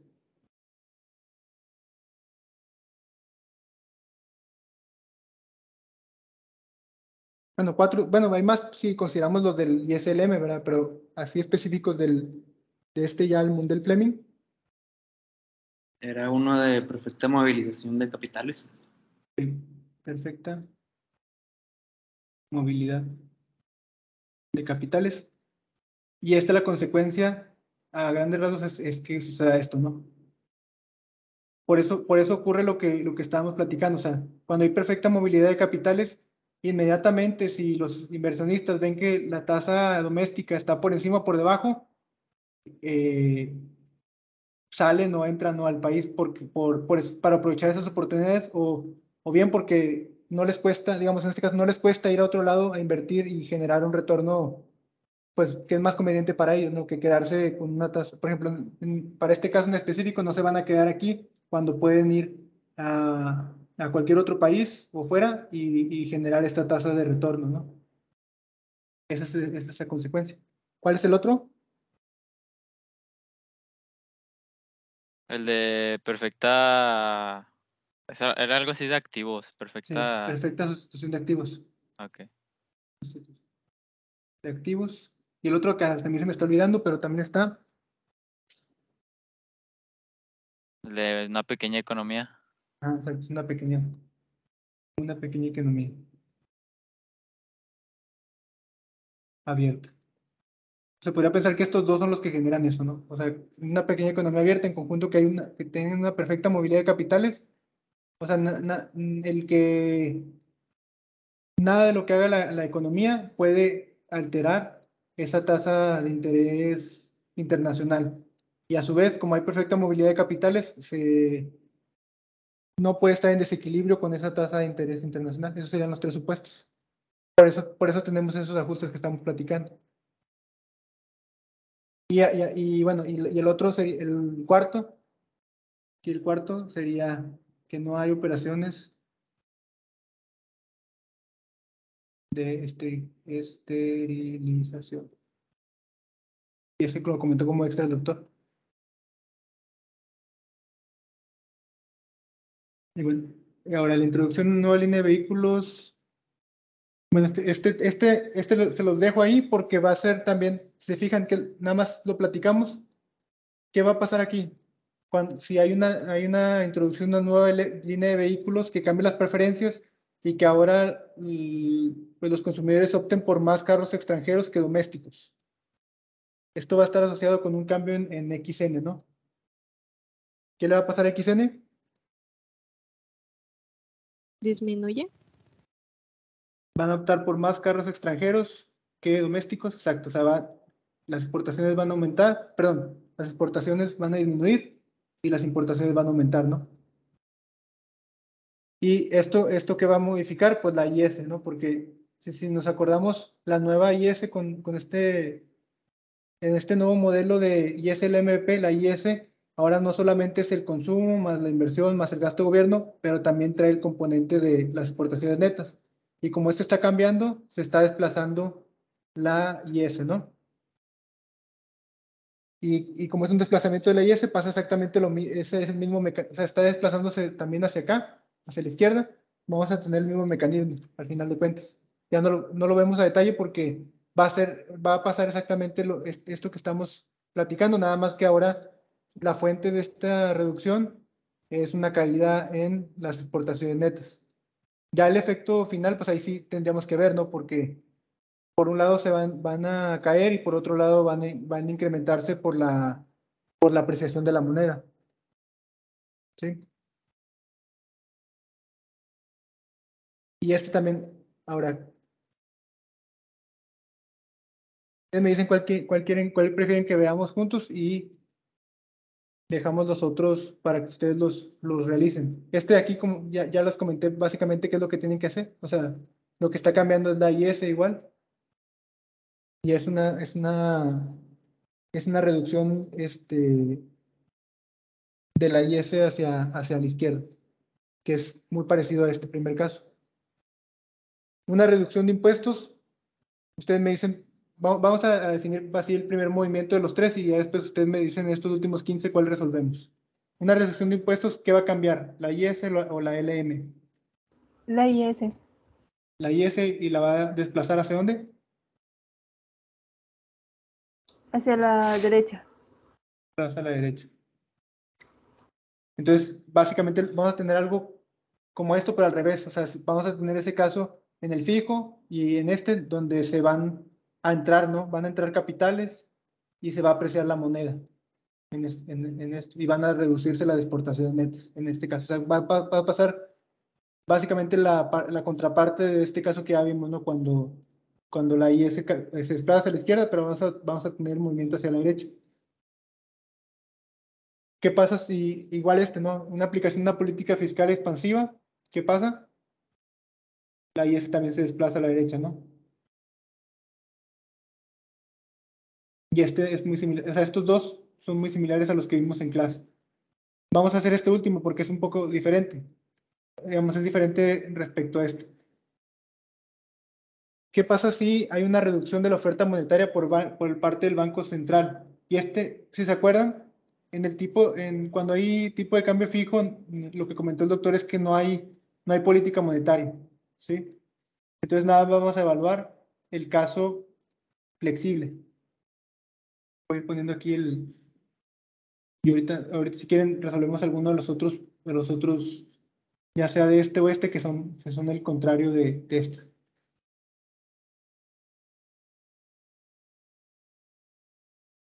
La LM. La IS. Ta.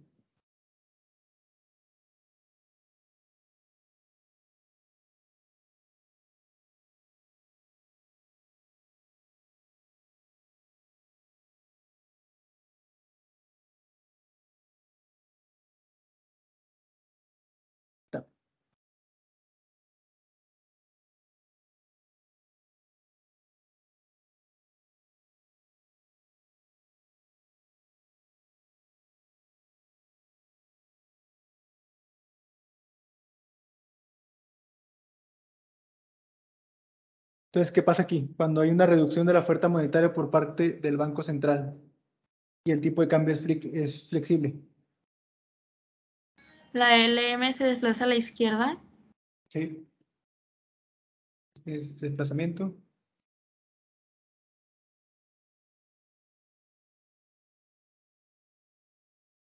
Y volvemos poniendo ahorita los pasos. Es uno, LM se desplaza a la izquierda.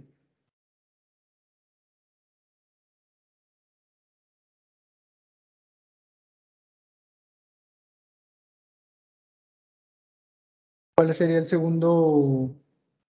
Digamos, ¿qué es lo segundo que está ocurriendo?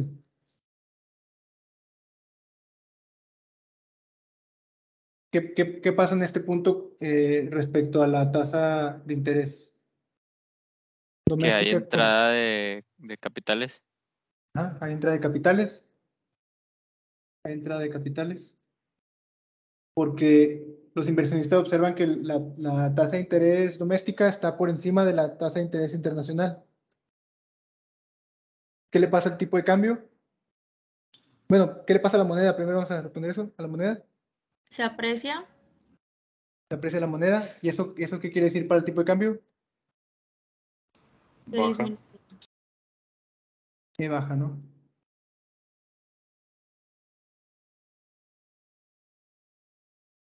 ¿Qué pasa después?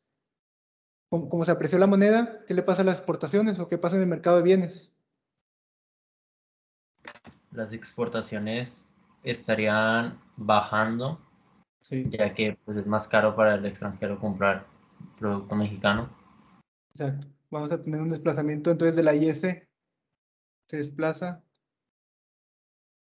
IS a la izquierda, ¿no?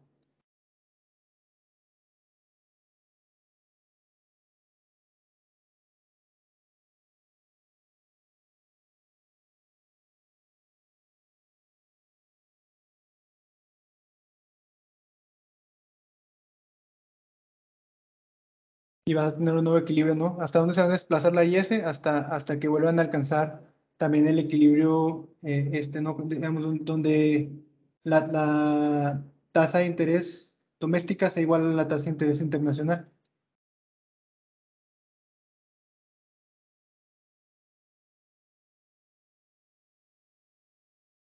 Ese sería el, el- el contrario. Y bueno, al final, en este caso, por ejemplo, pasamos de A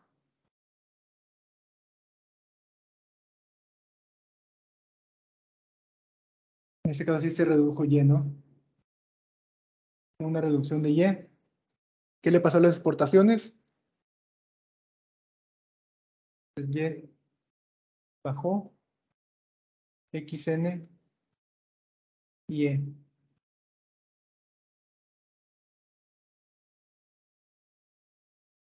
¿A XN qué le pasó? Se redujeron, ¿verdad? Se redujeron.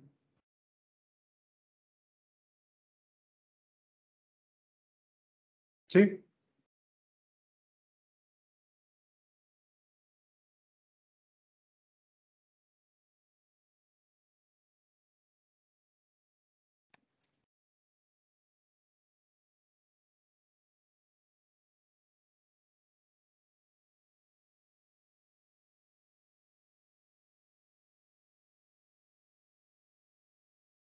¿Ese sí quedó claro?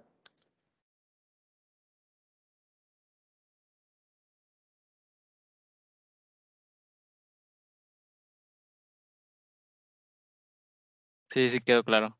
Perfecto. ¿Quieren que hagamos uno de estos dos o cre- creen que ustedes ya los pueden hacer por su cuenta, estos dos?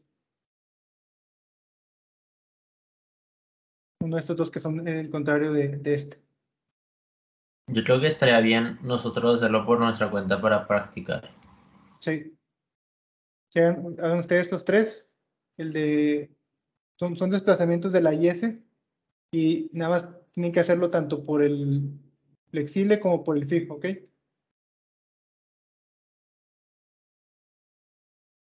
Y, y pues sería, sería básicamente seguir, seguir este, vayan haciéndolo paso por paso para que no se confundan de qué es lo que está pasando y entiendan también cuál- cuáles son los movimientos que están ocurriendo tengan en cuenta los opuestos y pues sería, sería todo ¿no? de este modelo. En el siguiente vamos a empezar a ver el modelo, déjenme les muestro. Bueno, igual, igual lo vemos si quieren en la, en la siguiente, porque ya, ya casi va a ser la hora, pero vamos a ver el, el de Real Business Cycle, ¿no? Este, por ahí comentó el doctor, quería que, que les interpretara algo de la de la ecuación de Euler y, y, y, si quieren podemos ir viendo ahí unos pasos un poquito más, más detallados de cómo derivarlo para, para que no tengan duda.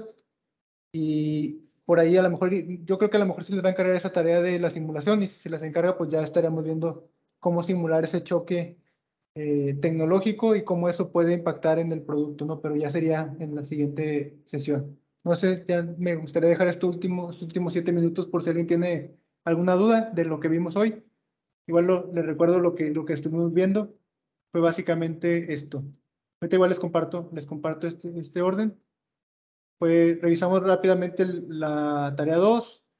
Vimos algunos conceptos que le van a servir para la tarea 3, eh, para que tengan todos la misma serie de tiempo, cómo graficar dos series. Vimos la especificación del modelo VAR. Les mostré rápidamente cómo pueden utilizar el, el modelo interactivo que les pasé para, para que practiquen. Y realizamos dos ejercicios del ISLMVP y, quedaron tres para que ustedes pudieran practicar por su cuenta, ¿no? De la misma forma que lo hicimos hoy. Y pues ya quedó, quedó a su disposición por si hay algún, alguna, alguna duda o pregunta. Y si no, pues nos estaremos viendo el, pues el martes para la clase. Y ahorita nada más les recuerdo que les voy a subir unas notas que me comentó el doctor que les pasara. Son, son cinco notas, no seis notas, y la decisión de política monetaria, ¿no? Para, para que la tengan en, en para que tengan, digamos, estén al pendiente del, del contexto de la coyuntura.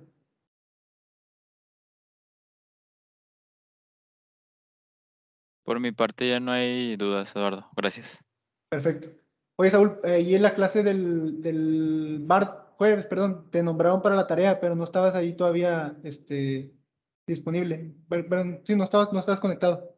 Entonces te marcamos ahí como que no, no, no estabas presente, que no estabas participando, para, para que, pues si, si tienes disponible esta próxima tarea, para que estés ahí por si, digamos, no pierdas la oportunidad de, o sea, o sea, el doctor comentó que si alguien no estaba, pues es difícil que vuelva a, ¿cómo se llama? A salir sorteado, pero sin embargo, pues si, si sale la suerte, pues que tengas ahí disponible la tarea y no pierdas la participación.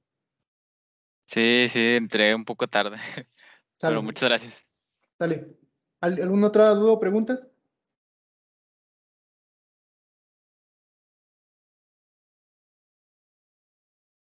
¿Ninguna?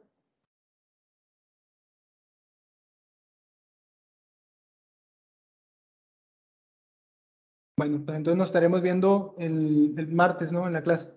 Que tengan buen fin de semana y cualquier duda eh, para su tarea 3, como quiera, por ahí estamos.